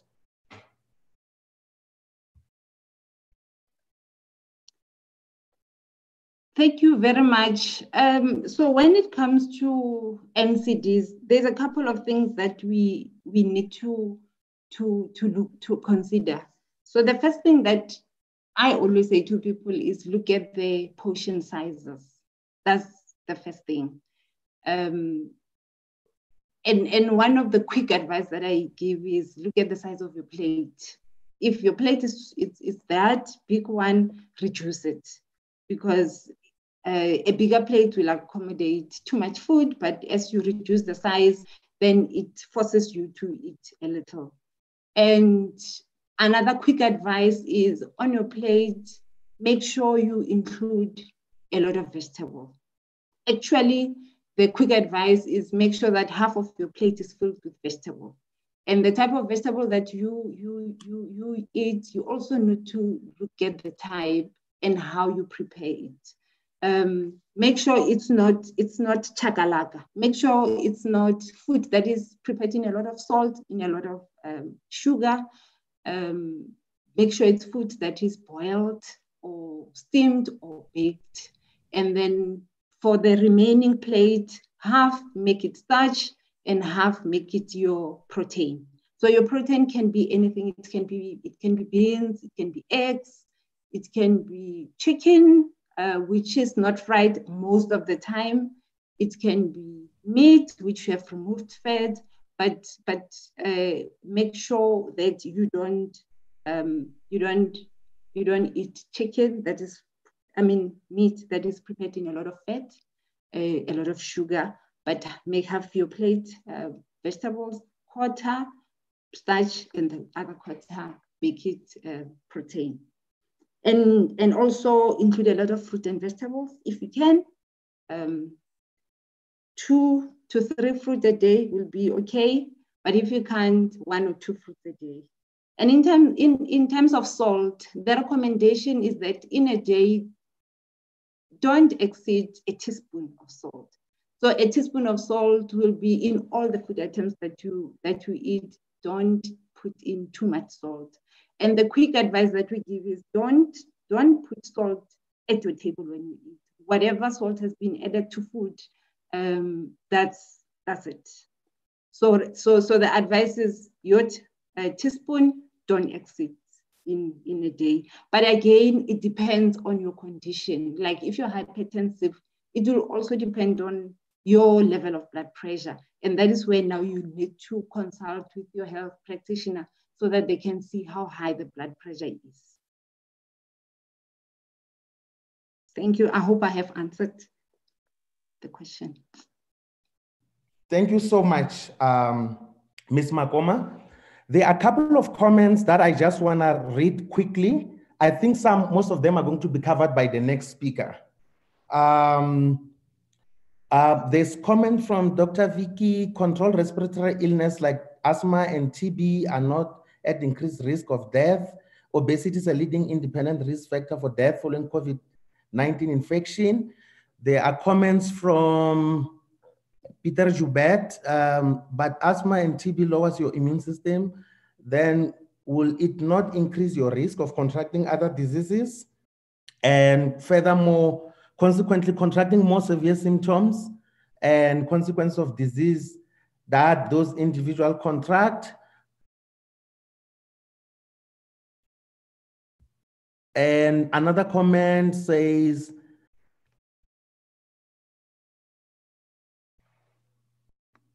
What is the best way to keep healthy diet when you are from poverty-stricken family? I think it's related to the to the other comment. There's also comment, very interesting comment I have picked up from from Sanele. He says, thanks Thank you for this. Is there any regulation pronouncement that government can be held accountable for in terms of excessive sugar on our food on shelves? So I think some of this will be covered on the next presentation. Um, Ms. Makoma, if you agree with me, and you can just note them down. I will also take any other further more comments. And when we go to um, towards the end of the session, we will uh, attempt to tackle those questions. I am just a bit concerned with time now to, to tackle all questions at this point in time. So if you allow me, I want us to move to, this, to the last speaker of the day.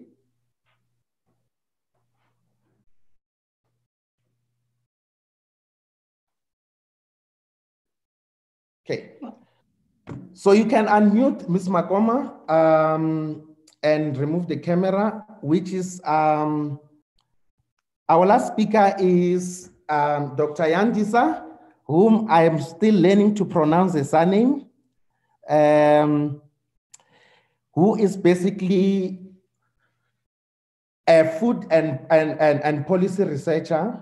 Um, she's now based in Australia. Um, she is going to talk more around a lot of work. She's a, she's a, she's she's actually a PhD. Uh, she's a graduate, so that's why we're calling her a doctor. She's going to talk us to us more about um, more about the food policy. There have been questions about what can government do to protect us, to protect our health um, in terms of access to healthy food. Um, so she's going to talk a lot about food regulation and policy uh, to protect um, our health and ensuring that the food system do cater for uh, access to healthy food for, for people who live in South Africa. So I'll hand over to you, um, Dr. Yandisa, to take us through your presentation. Please look out for time. uh, when you're presenting. Um, we already, so it's gonna be 20 minutes max. Um, my slides are already being moved by someone else. Let's see.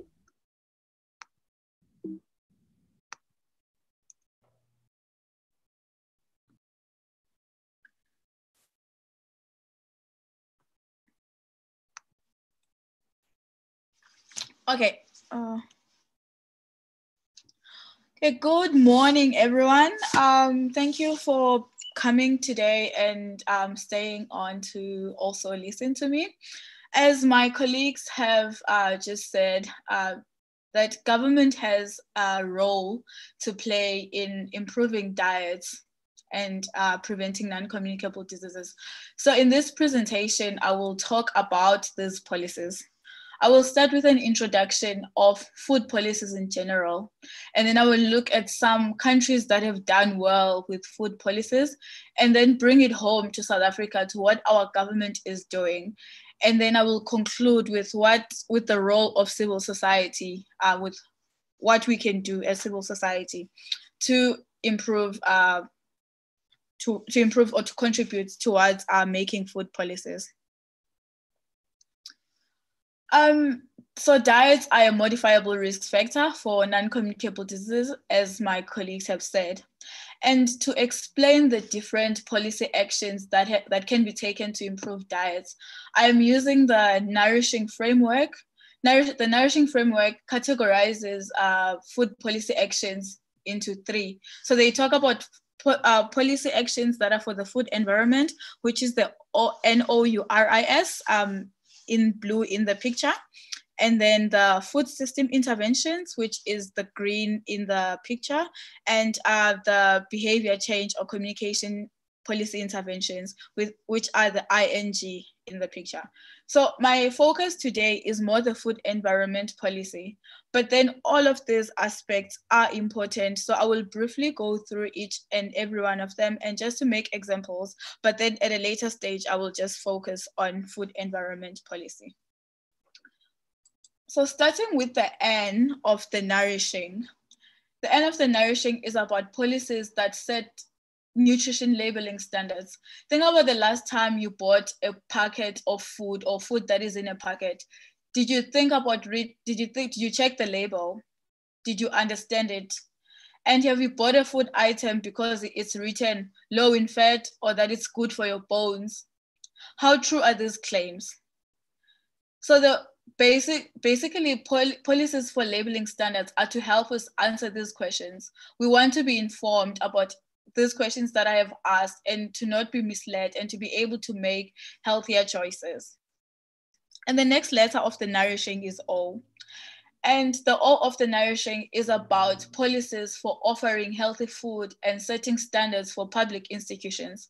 For example, a school food policy that says schools must provide um, healthy food during lunch for kids, or policies that say that tell that say in hospitals for example you cannot sell junk foods i don't know how it is now but i remember when i worked in hospitals in south africa there would be unhealthy food at the canteen. You would have a vetkoek for lunch. There would be other unhealthy food in the vending machines or even at the streets as you live there. And that is the hospital that is dealing with um, health. So one of the recommended policy actions is to have policies to say, okay, in schools and in at workplaces, let's try to have healthier food. Okay. And then the U of the nourishing is about policies that use economic tools to address affordability of food, as well as uh, giving people incentives to buy healthy food. An example of this is having taxes on unhealthy food, such as uh, sugary drinks.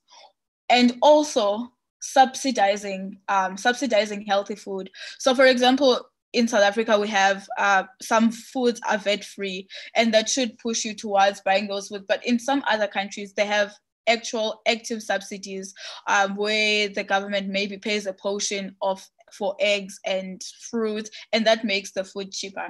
So this is an example of using economic tools to make food available. And then the next letter is R. And R, the R of the nourishing is about policies that restrict advertising, so food advertising.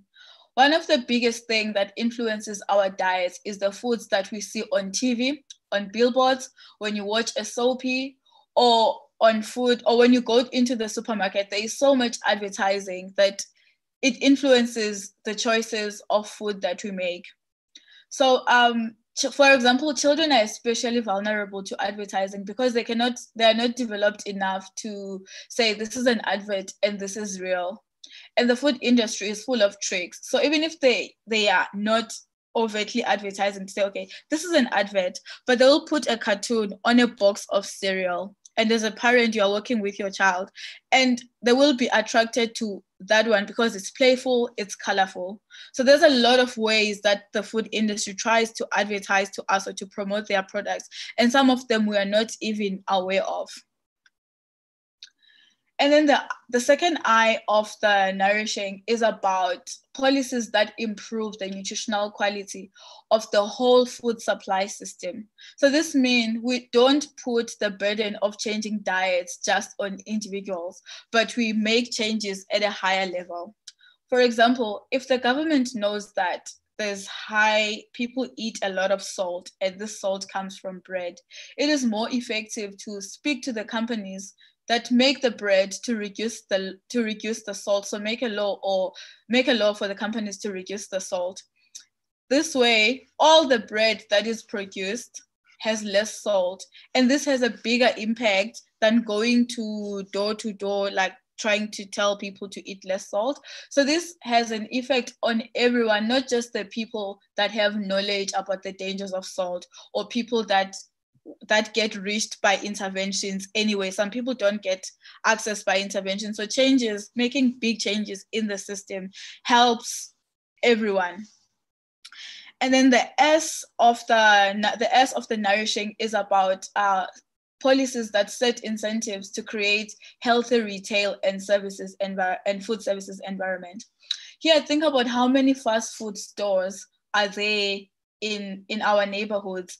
And now even the the rural small towns are getting kfc are getting uh, steers are getting uh, other fried chicken that are not even necessarily kfc so um and these are more than shops for healthy food. And currently when you go to a grocery store or a supermarket when you check out at the till after you pay, you are more likely to see sweets and chocolates there, not fruit. So the food market or the food, the supermarket or the food environment is built in such a way that it forces, it makes you almost to choose unhealthy or it makes choose eating unhealthy very, very easy. And then moving on to the age, um, this is the sec- this is the uh, the food system interventions now, no, not the food environment. So the age of the nourishing is about policies that harness the supply supply chain across all systems to address health. So this means this means what is called health in all policies. For example, before a fast food company come, comes and opens shop in a small town with a promise of jobs. We have to think about the impact of these investments of health. So how many fast foods do we already have? How far are the fast foods from schools? And um, how does this affect the local food supply. So for example, if you bring in three KFCs or three any other shops, sorry, I always make examples about KFC because I like it. But um, so how many fast food chains are already there? And how does this affect the local food supply? So if you bring all these big chains that grow potatoes in America and the salad there, what is it doing for the local food supply for small businesses? So this means that different ministries in government must talk to each other. So health must talk to economic development, who must also talk to agriculture. So this is how this, and now this is like much bigger it's bigger than us as health people, but it's it's like a, at a policy level and at a, and at a food system level. And then moving on to behavior change communication, and this this the last three letters these policies happen at individual level so i the second i of the nourishing framework is about policies that inform people about food and nutrition for example, most countries have a food-based um, guidelines, and I think there's one in South Africa. So we should have policies that say every year or every five years there is a there's, there's a there's a guideline on how people in South Africa should eat, and this should be relevant and adaptable for all people in South Africa for the different provinces and languages. And um, the next one um, is the N, and N is about nutrition advice. And this speaks to primary health care. So at primary health care level, there should be nutrition, the nutrition advice available and all other clinical interventions that are available for people that are already at risk. And lastly, the last letter is G. And this is about policies for giving nutrition education and skills. And this is about empowering people to make decisions uh, on their own. So where the health professionals are no longer involved, it's or the, they're just like, it's building up the skills. So for example, having uh, food production in schools, having cooking skills in schools, having health literacy, so long-standing skills, people that skills that people can use their entire lifetime. And uh, so for people's behaviors to change, they have to know that um, healthy diets are good for them. On top of knowledge, they need skills. And on top of skills, they need access to healthy food. And then this will finally lead to behavior change. And if you're missing any of these, uh, we will do all these interventions, but then we need like one holistic um, approach to this.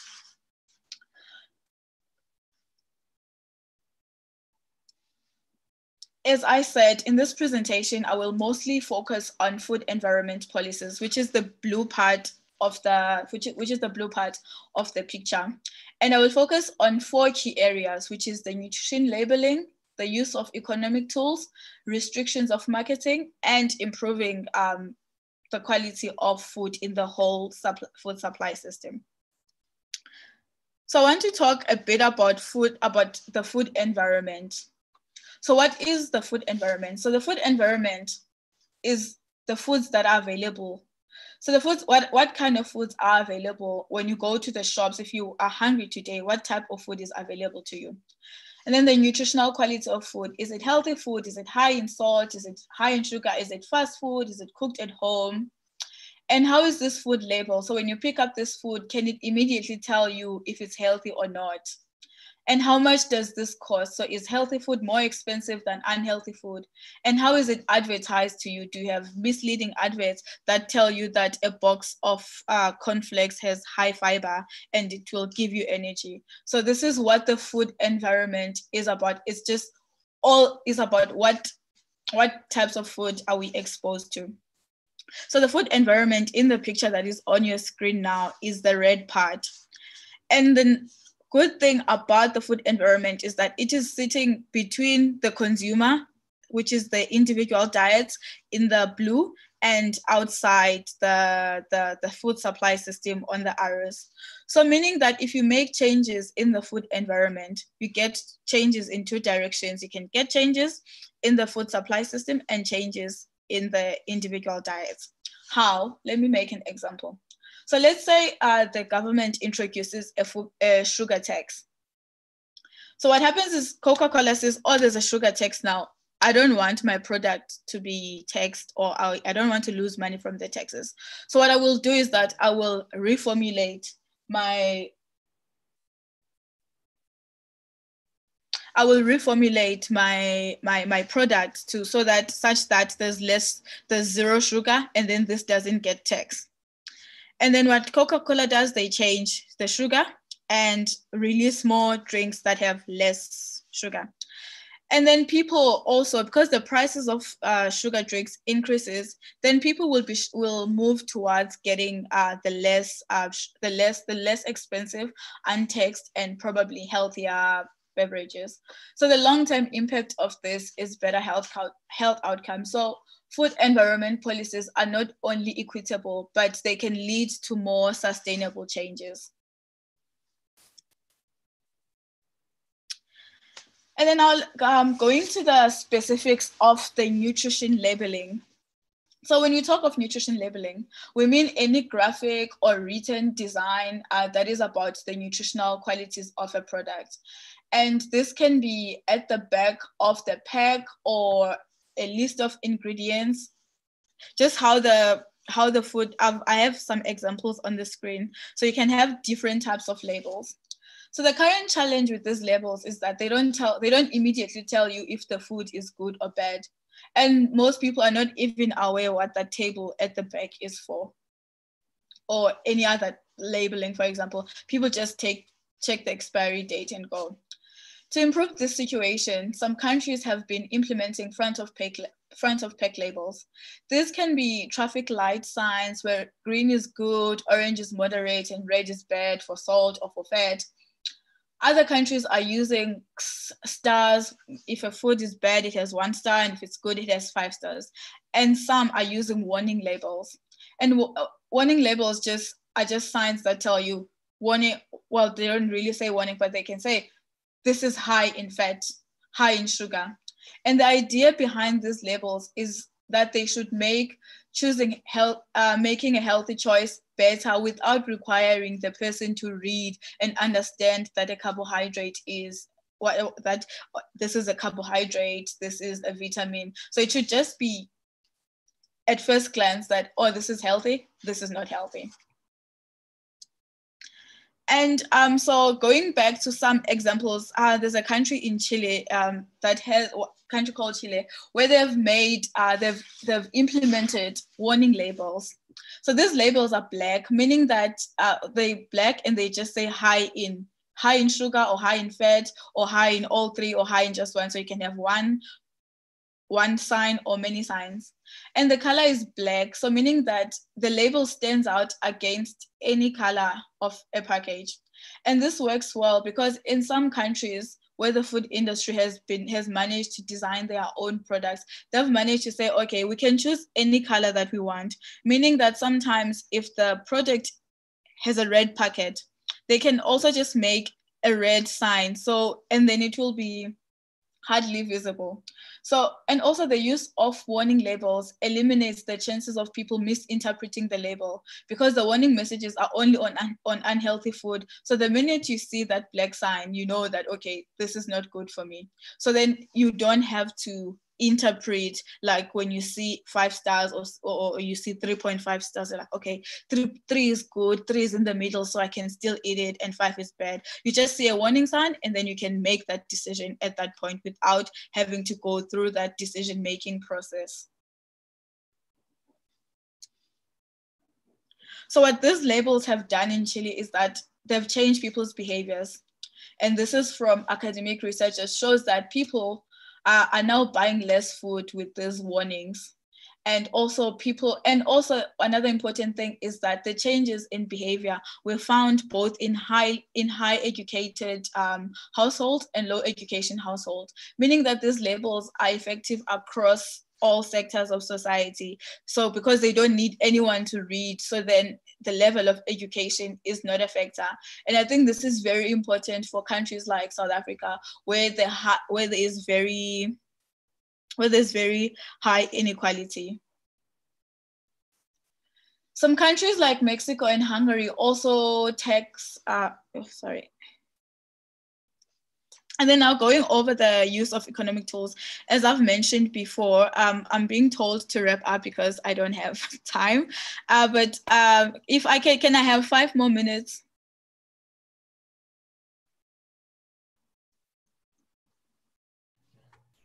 Okay, please give me five more minutes because the last part, the important part is really at the end, but yes. I need to up to get to that part. Thank you. Before you continue, also, uh, uh, so, sorry, Doc, before you continue, I just wanted to check um, if the, the, the, delegates can allow us to move a little bit the next 15, 20 minutes or so, um, so that we can allow time to the, for the questions. Your five minutes will take us to 12 o'clock. That was the time allocated for Zoom, for, for, for this Zoom and, and YouTube time. So I wanted to just check with the participants if, if that's okay uh, the people who want to still remain on the on the call um, to remain. So you can you can you can indeed quickly wrap up um, so that we can have enough time to there are a lot of questions uh, that and comments that needs to be addressed as well, and the way forward. Okay. Um. So and then um going over where was I? Okay. So now, um, so like again, many countries have implemented um, sugar taxes. Um, so the most common of this is sugar taxes. Like more than 28 countries have a, at least a sugar tax. And some countries like Mexico and Hungary also even have, um, like they also tax uh, junk food. And it may be argued that these taxes are regressive, so they affect, uh, so they, they will affect the poor. But it's been shown that actually non-communicable diseases affect poorer people more than they do uh, they, than, not, than more than they do well-off people. And in addition, revenues that are made from these taxes can be reinvested in health. And again, research on taxes has shown that this, this, um, these taxes are effective in changing behaviors and reducing the intake of sugar. However, there's no significant impact on weight. And um, so this shows that there's also a need for complementary strategies. So you can't just put put on a tax and not make and not do anything else. And then I will then talk about um,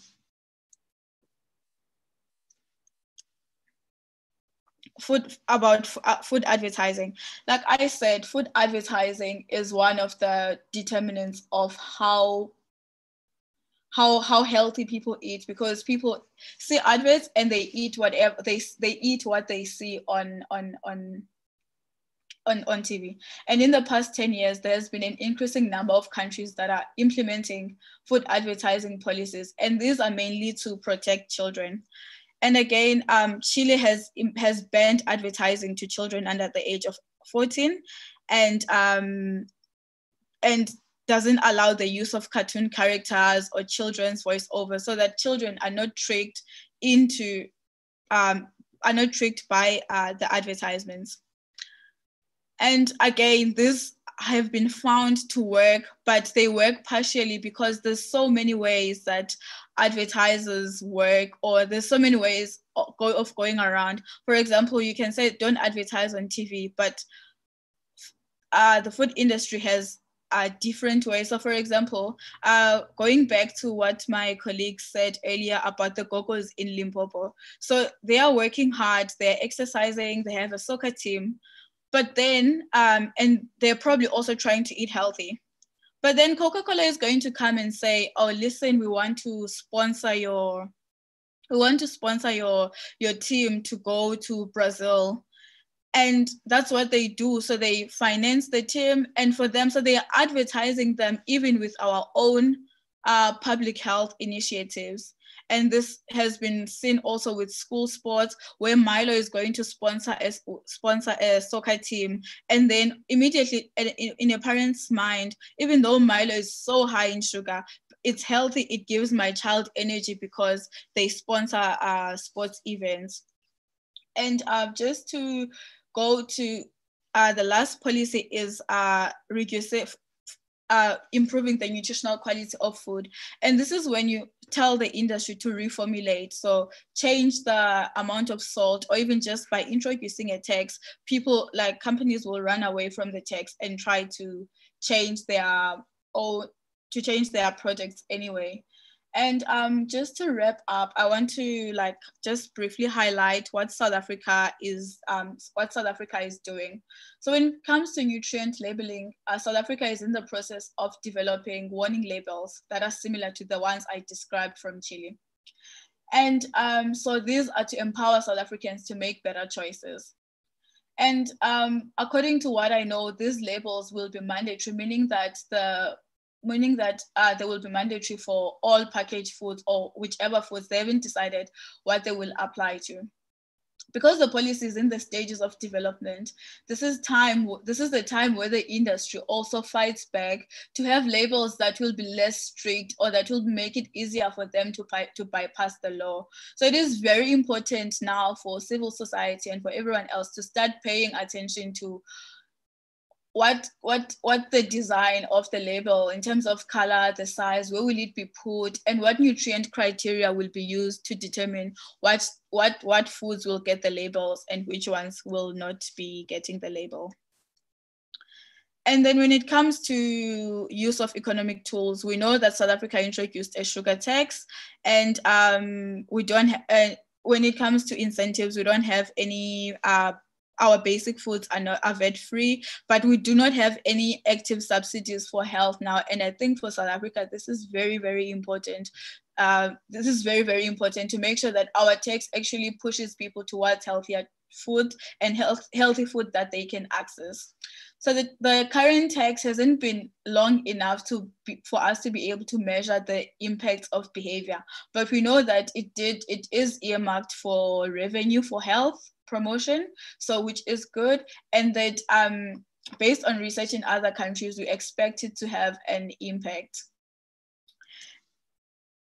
And then again, um, when it comes to salt, South Africa was the, when it comes to improving the nutritional quality of food, South Africa was the first country to introduce a legislation that says, uh, listen, do not, you cannot have more than this amount of salt in your food.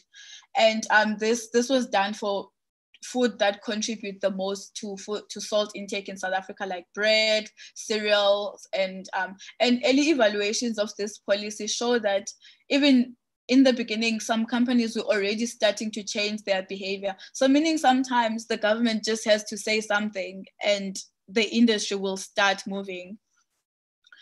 And then when it comes to food marketing restrictions. Um, unfortunately, uh, there is no government policy to regulate advertising.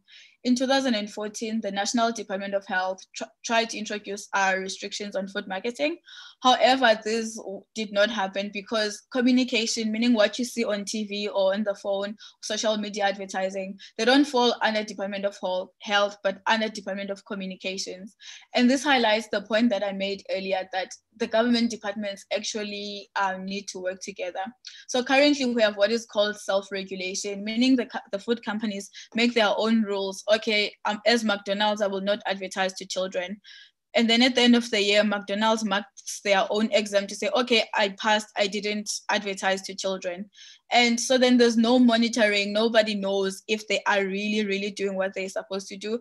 And nothing is ever done unless there's a complaint. So if there's no complaint, the ad stays. And if there is a complaint, the only thing that happens, there's no real punishment. The only thing that happens is that, okay, McDonald's, remove that advert. So, and I would like to conclude by just, um, by just like in the interest of time, by just highlighting the role of society, so of civil society. So I would like us to think of policies as ideas um, that are in a race and the finish line being the finish line is the actual policy, but everything, they all start as ideas. And there are many ideas, and not all the ideas uh, will cross the finish line and become policies.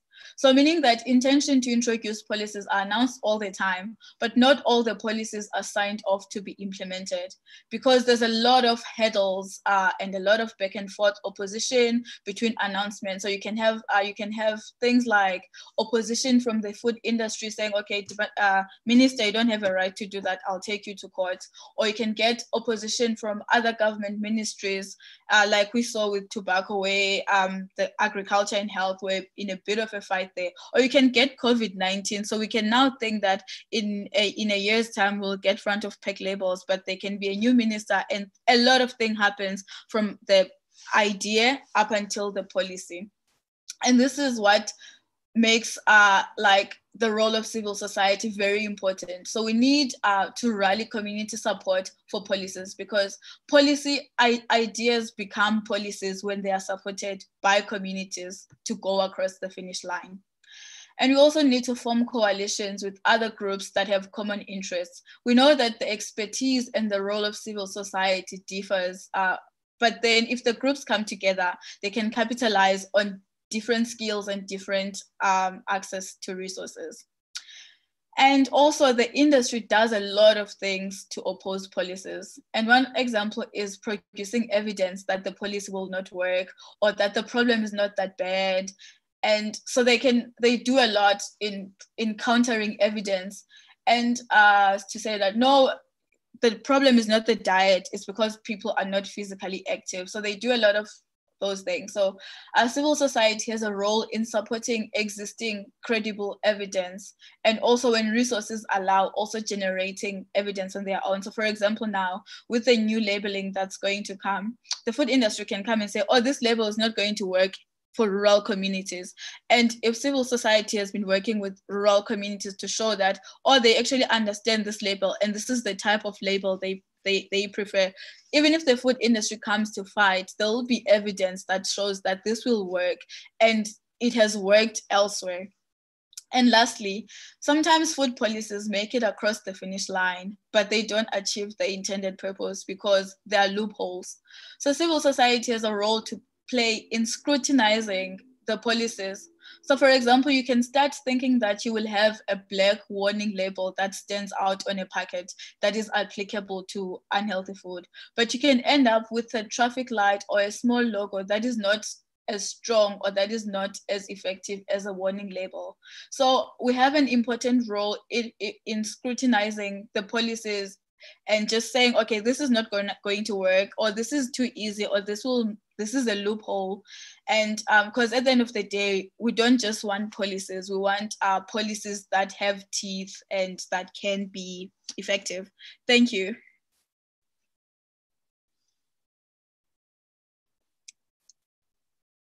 Thank you so much, um, Doc.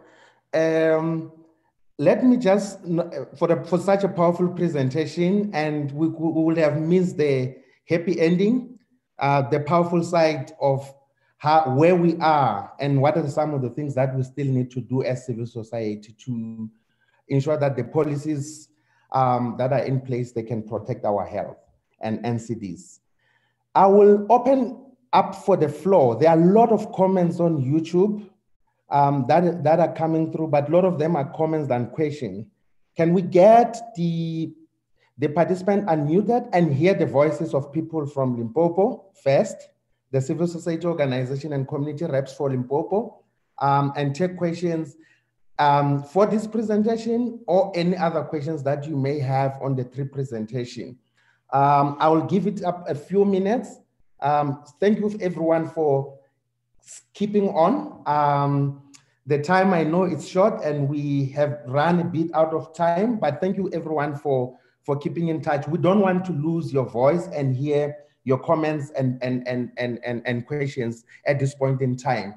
So let me open for like a 10 minutes or so and get more questions and comments um, from the delegation from Limpopo first. And then I can also allow my colleagues uh, and comrades to actually also comment. So comrades, starting with the people in Limpopo, can we get your questions, comments, uh, reflection on the presentation? On the presentations, this one and the and, and the and the other two presentations that came before. I want to see if we have a hand from the attendees. Do we have a hand? My colleagues um, at RHAP and HEALA, please also do assist me. If you do see, there is a hand from Lydia Mabena. Uh, Lydia, Lydia, please unmute and shoot straight with your question.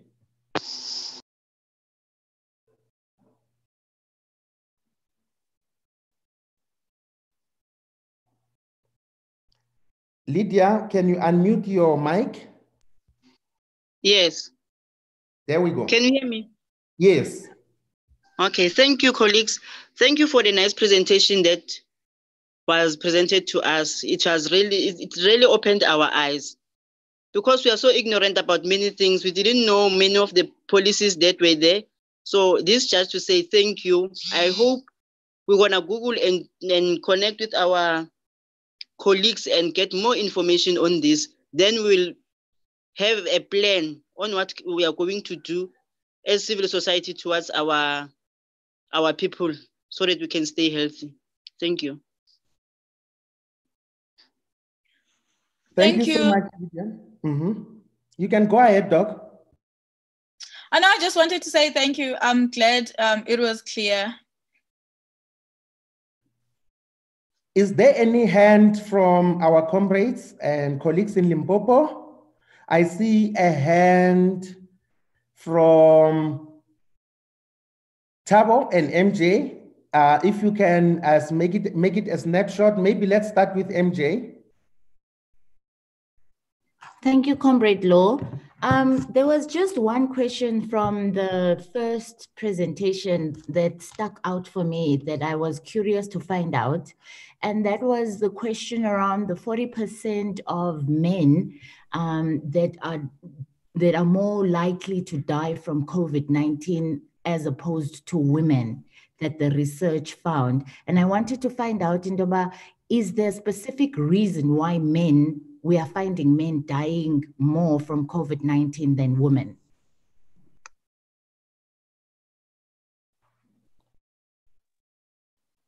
Great. So we, we will will will expect our panelists to respond to that. Um, let me take Tabo. Um, his hand is up. Um, then we'll, we'll, we'll get the response to all the questions that have come through.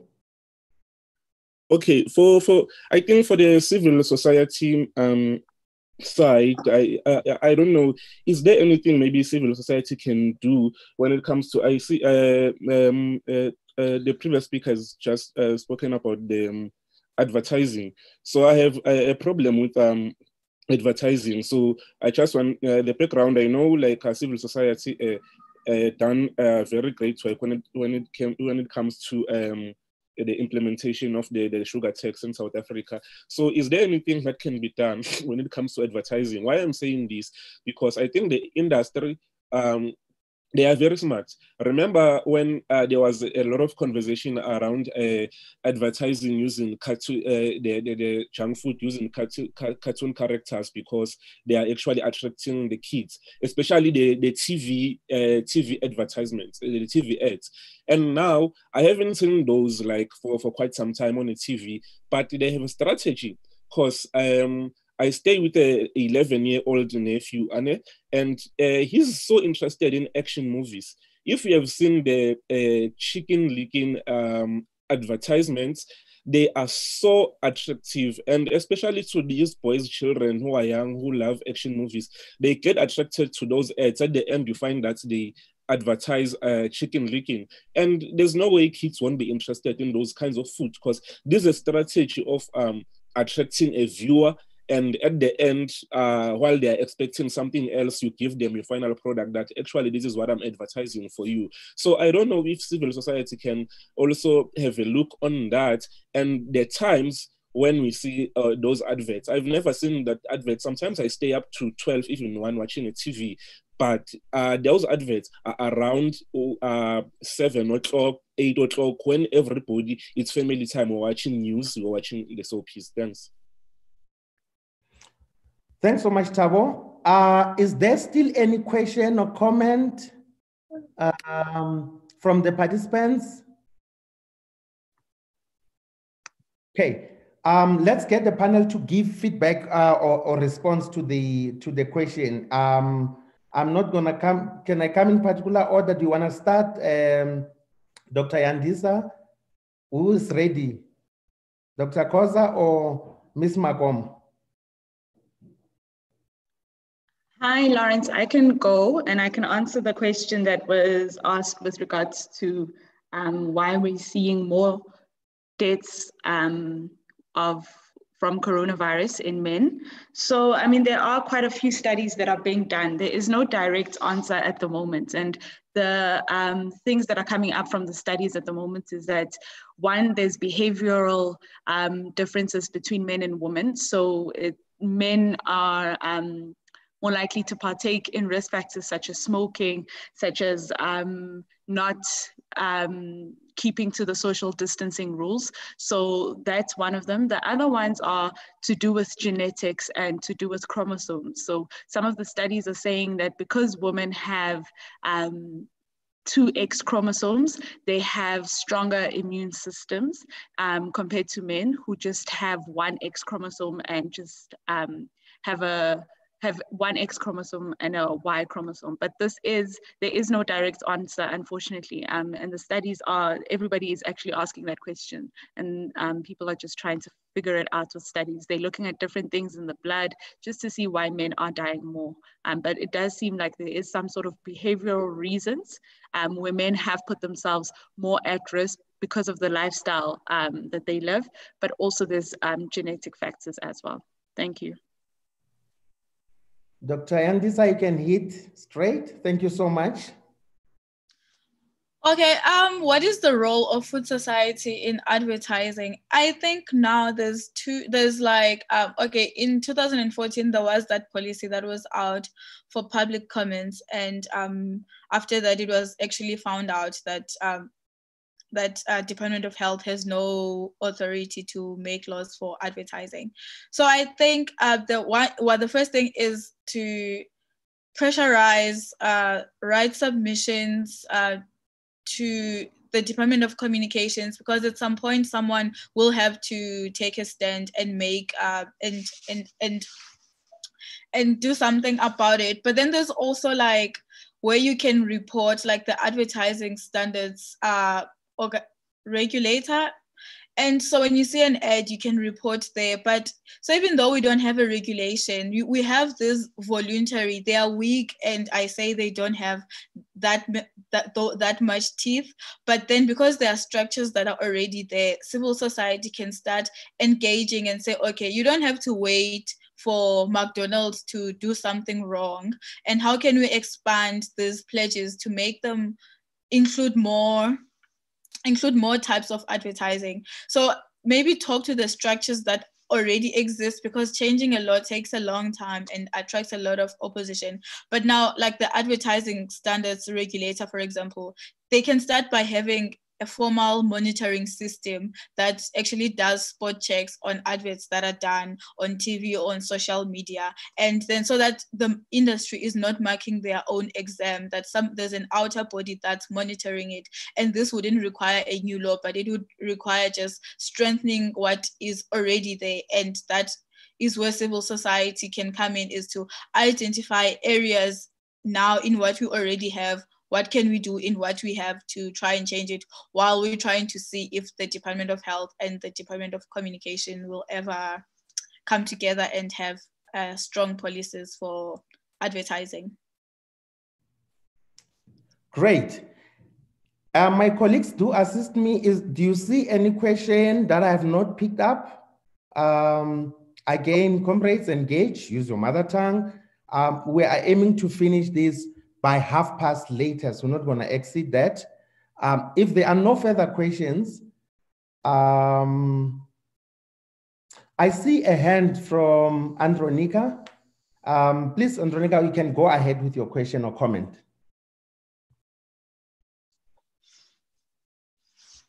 Please don't forget to unmute your mic. Your mic is still on mute.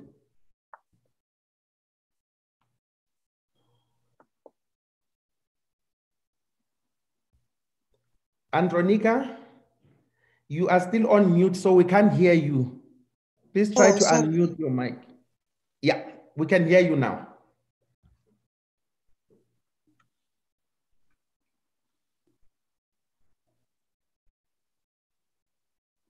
Seems we have a problem. Can you hear? The... Yes, please go ahead.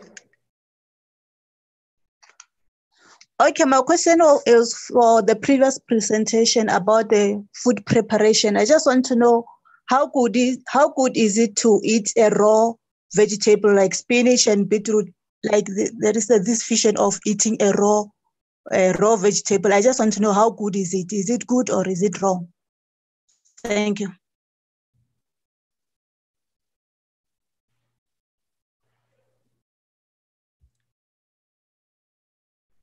Any comment from our panel? Yes, uh, thank you, Lawrence. Can I respond? Yes. Okay, there is there is absolutely nothing wrong in eating um, raw fruit and vegetables. Remember, I talked about the phytochemicals, and also when you eat raw fruit and vegetables, you, you get a lot of vegetable, I mean, vitamins and minerals. Remember that when we cook food, we um, sometimes we lose the vitamins, especially if you cook food in a lot of water. But having said that, there's also absolutely nothing wrong in also cooking them because when you cook them, you sort of improve the taste. So what is important is do not add too much water and do not cook um, for a for a long time because then you lose out on some of the nutritional value. But if a person prefers to eat them raw, it is still fine. Thank you so much. Um, and thank you everyone. And thank you to- Can I also, sorry, Lauren. Yes, go ahead. Okay, sorry about that. Can I also respond to the question that was uh, asked earlier regarding um, taking medication when people do not have access to food? Yes. This is a very difficult, yeah, it's a very difficult one. And I think that is the reason why the government is giving out food parcels and the 350 that is being given out because uh, to be honest, we need money in order to buy food.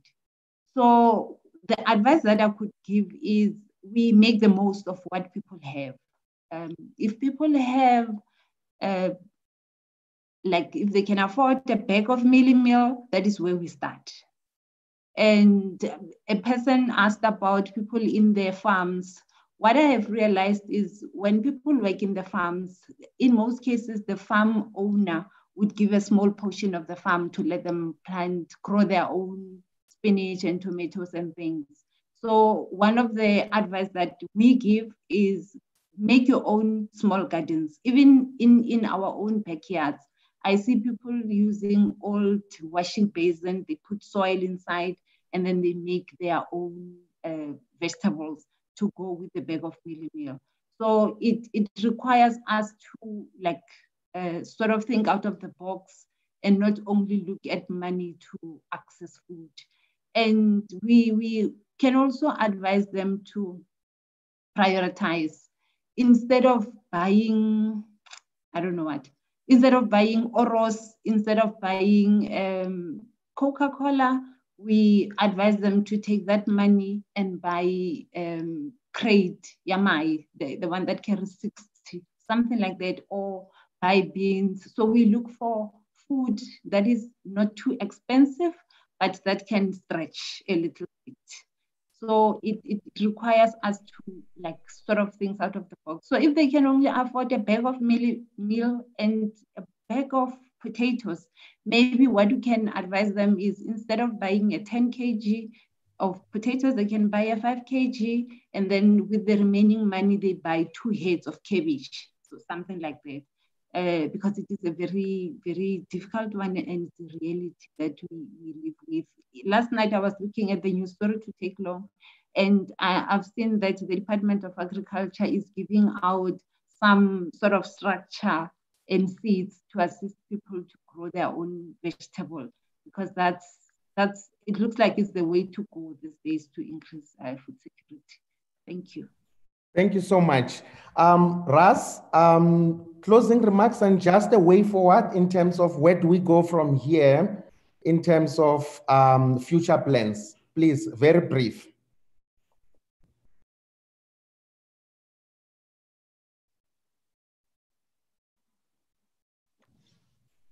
Russell, I think you are on mute.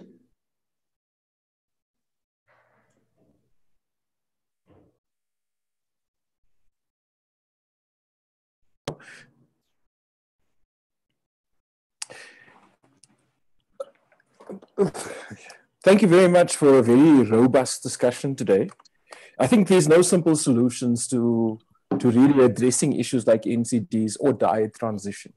I think the important thing that we have to remember is that under our Bill of Rights, we guarantee everybody right access to a safe environment.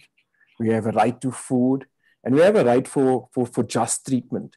You know, in a country like ours, I think there's no easy answer. You know, we can talk about obesity and 70% of, of, of, of our people are obese. But we can't have these conversations by, without looking at the complete array of it. You know, when we talk about school nutrition, we still don't have a guideline as, uh, on a school nutrition policy so that we can have standardized school meals, even though we have a school feeding program.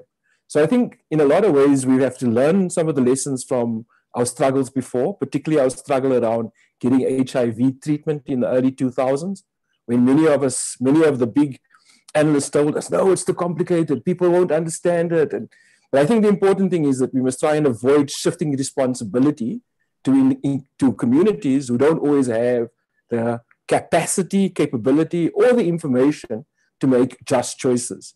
And I think our immediate struggle right now is to have a public conversation and dialogue amongst ourselves and amongst our communities to talk about the relationship between food and health and broader development. So I just want to, to say thank you for everybody. And, and I think over the next couple of weeks and months, we hope to engage into a number of more of different kinds of webinars that looks at drilling down some of these issues more specifically. This one was really just to introduce the issue of non-communicable diseases, to raise awareness amongst organizations working in health and in the general public, and to start thinking about how we can develop a community base, a community centered advocacy strategy for a better response to non communicable diseases and regulating the food environment so that we don't place ourselves at greater risk. But thank you very, very much for your time and for the very interesting and robust discussions. Over.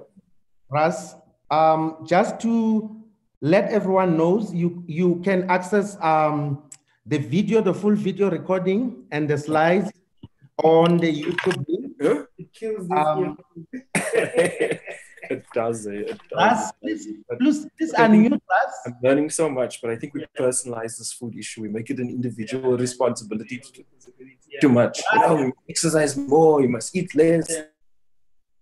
Okay, yeah, now Raz is muted. I'm, glad, I'm, I'm very glad to overhear that conversation. yeah, so I was saying uh, on the on the YouTube link that we have shared, you will get the full video recording of the webinar, as well as the presentations uh, from all the speakers. Uh, we will follow up also with the Limpopo civil society leaders, if in case people cannot achieve or archive that, to share actually the presentations. This is the beginning of the conversation. When the COVID-19 has cleared out, we're gonna descend down into communities and have these workshops and conversation and engagements and really build the arm of community response into NCDs.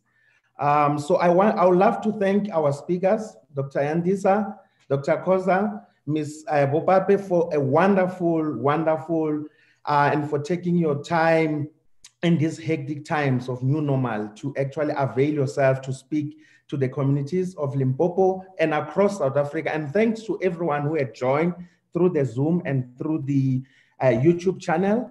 Um, follow us on Facebook. Um, it's Healthy Living Alliance and Rural Health Advocacy Project. Follow us on Twitter. Follow us on YouTube. Follow us, uh, like us on YouTube. Follow us on Twitter as well and Instagram. Um, we would like to continue engaging with you further, and we're looking forward to build more work and workshops at the communities when situation um, becomes more clearer and uh, we can have an open um, um, face-to-face um, workshops. So I would like to thank everyone. I will declare the session, the webinar closed. And as we have come to an end, uh, and thank you everyone, every delegate who participated and making time. Amandla, Aluta continua.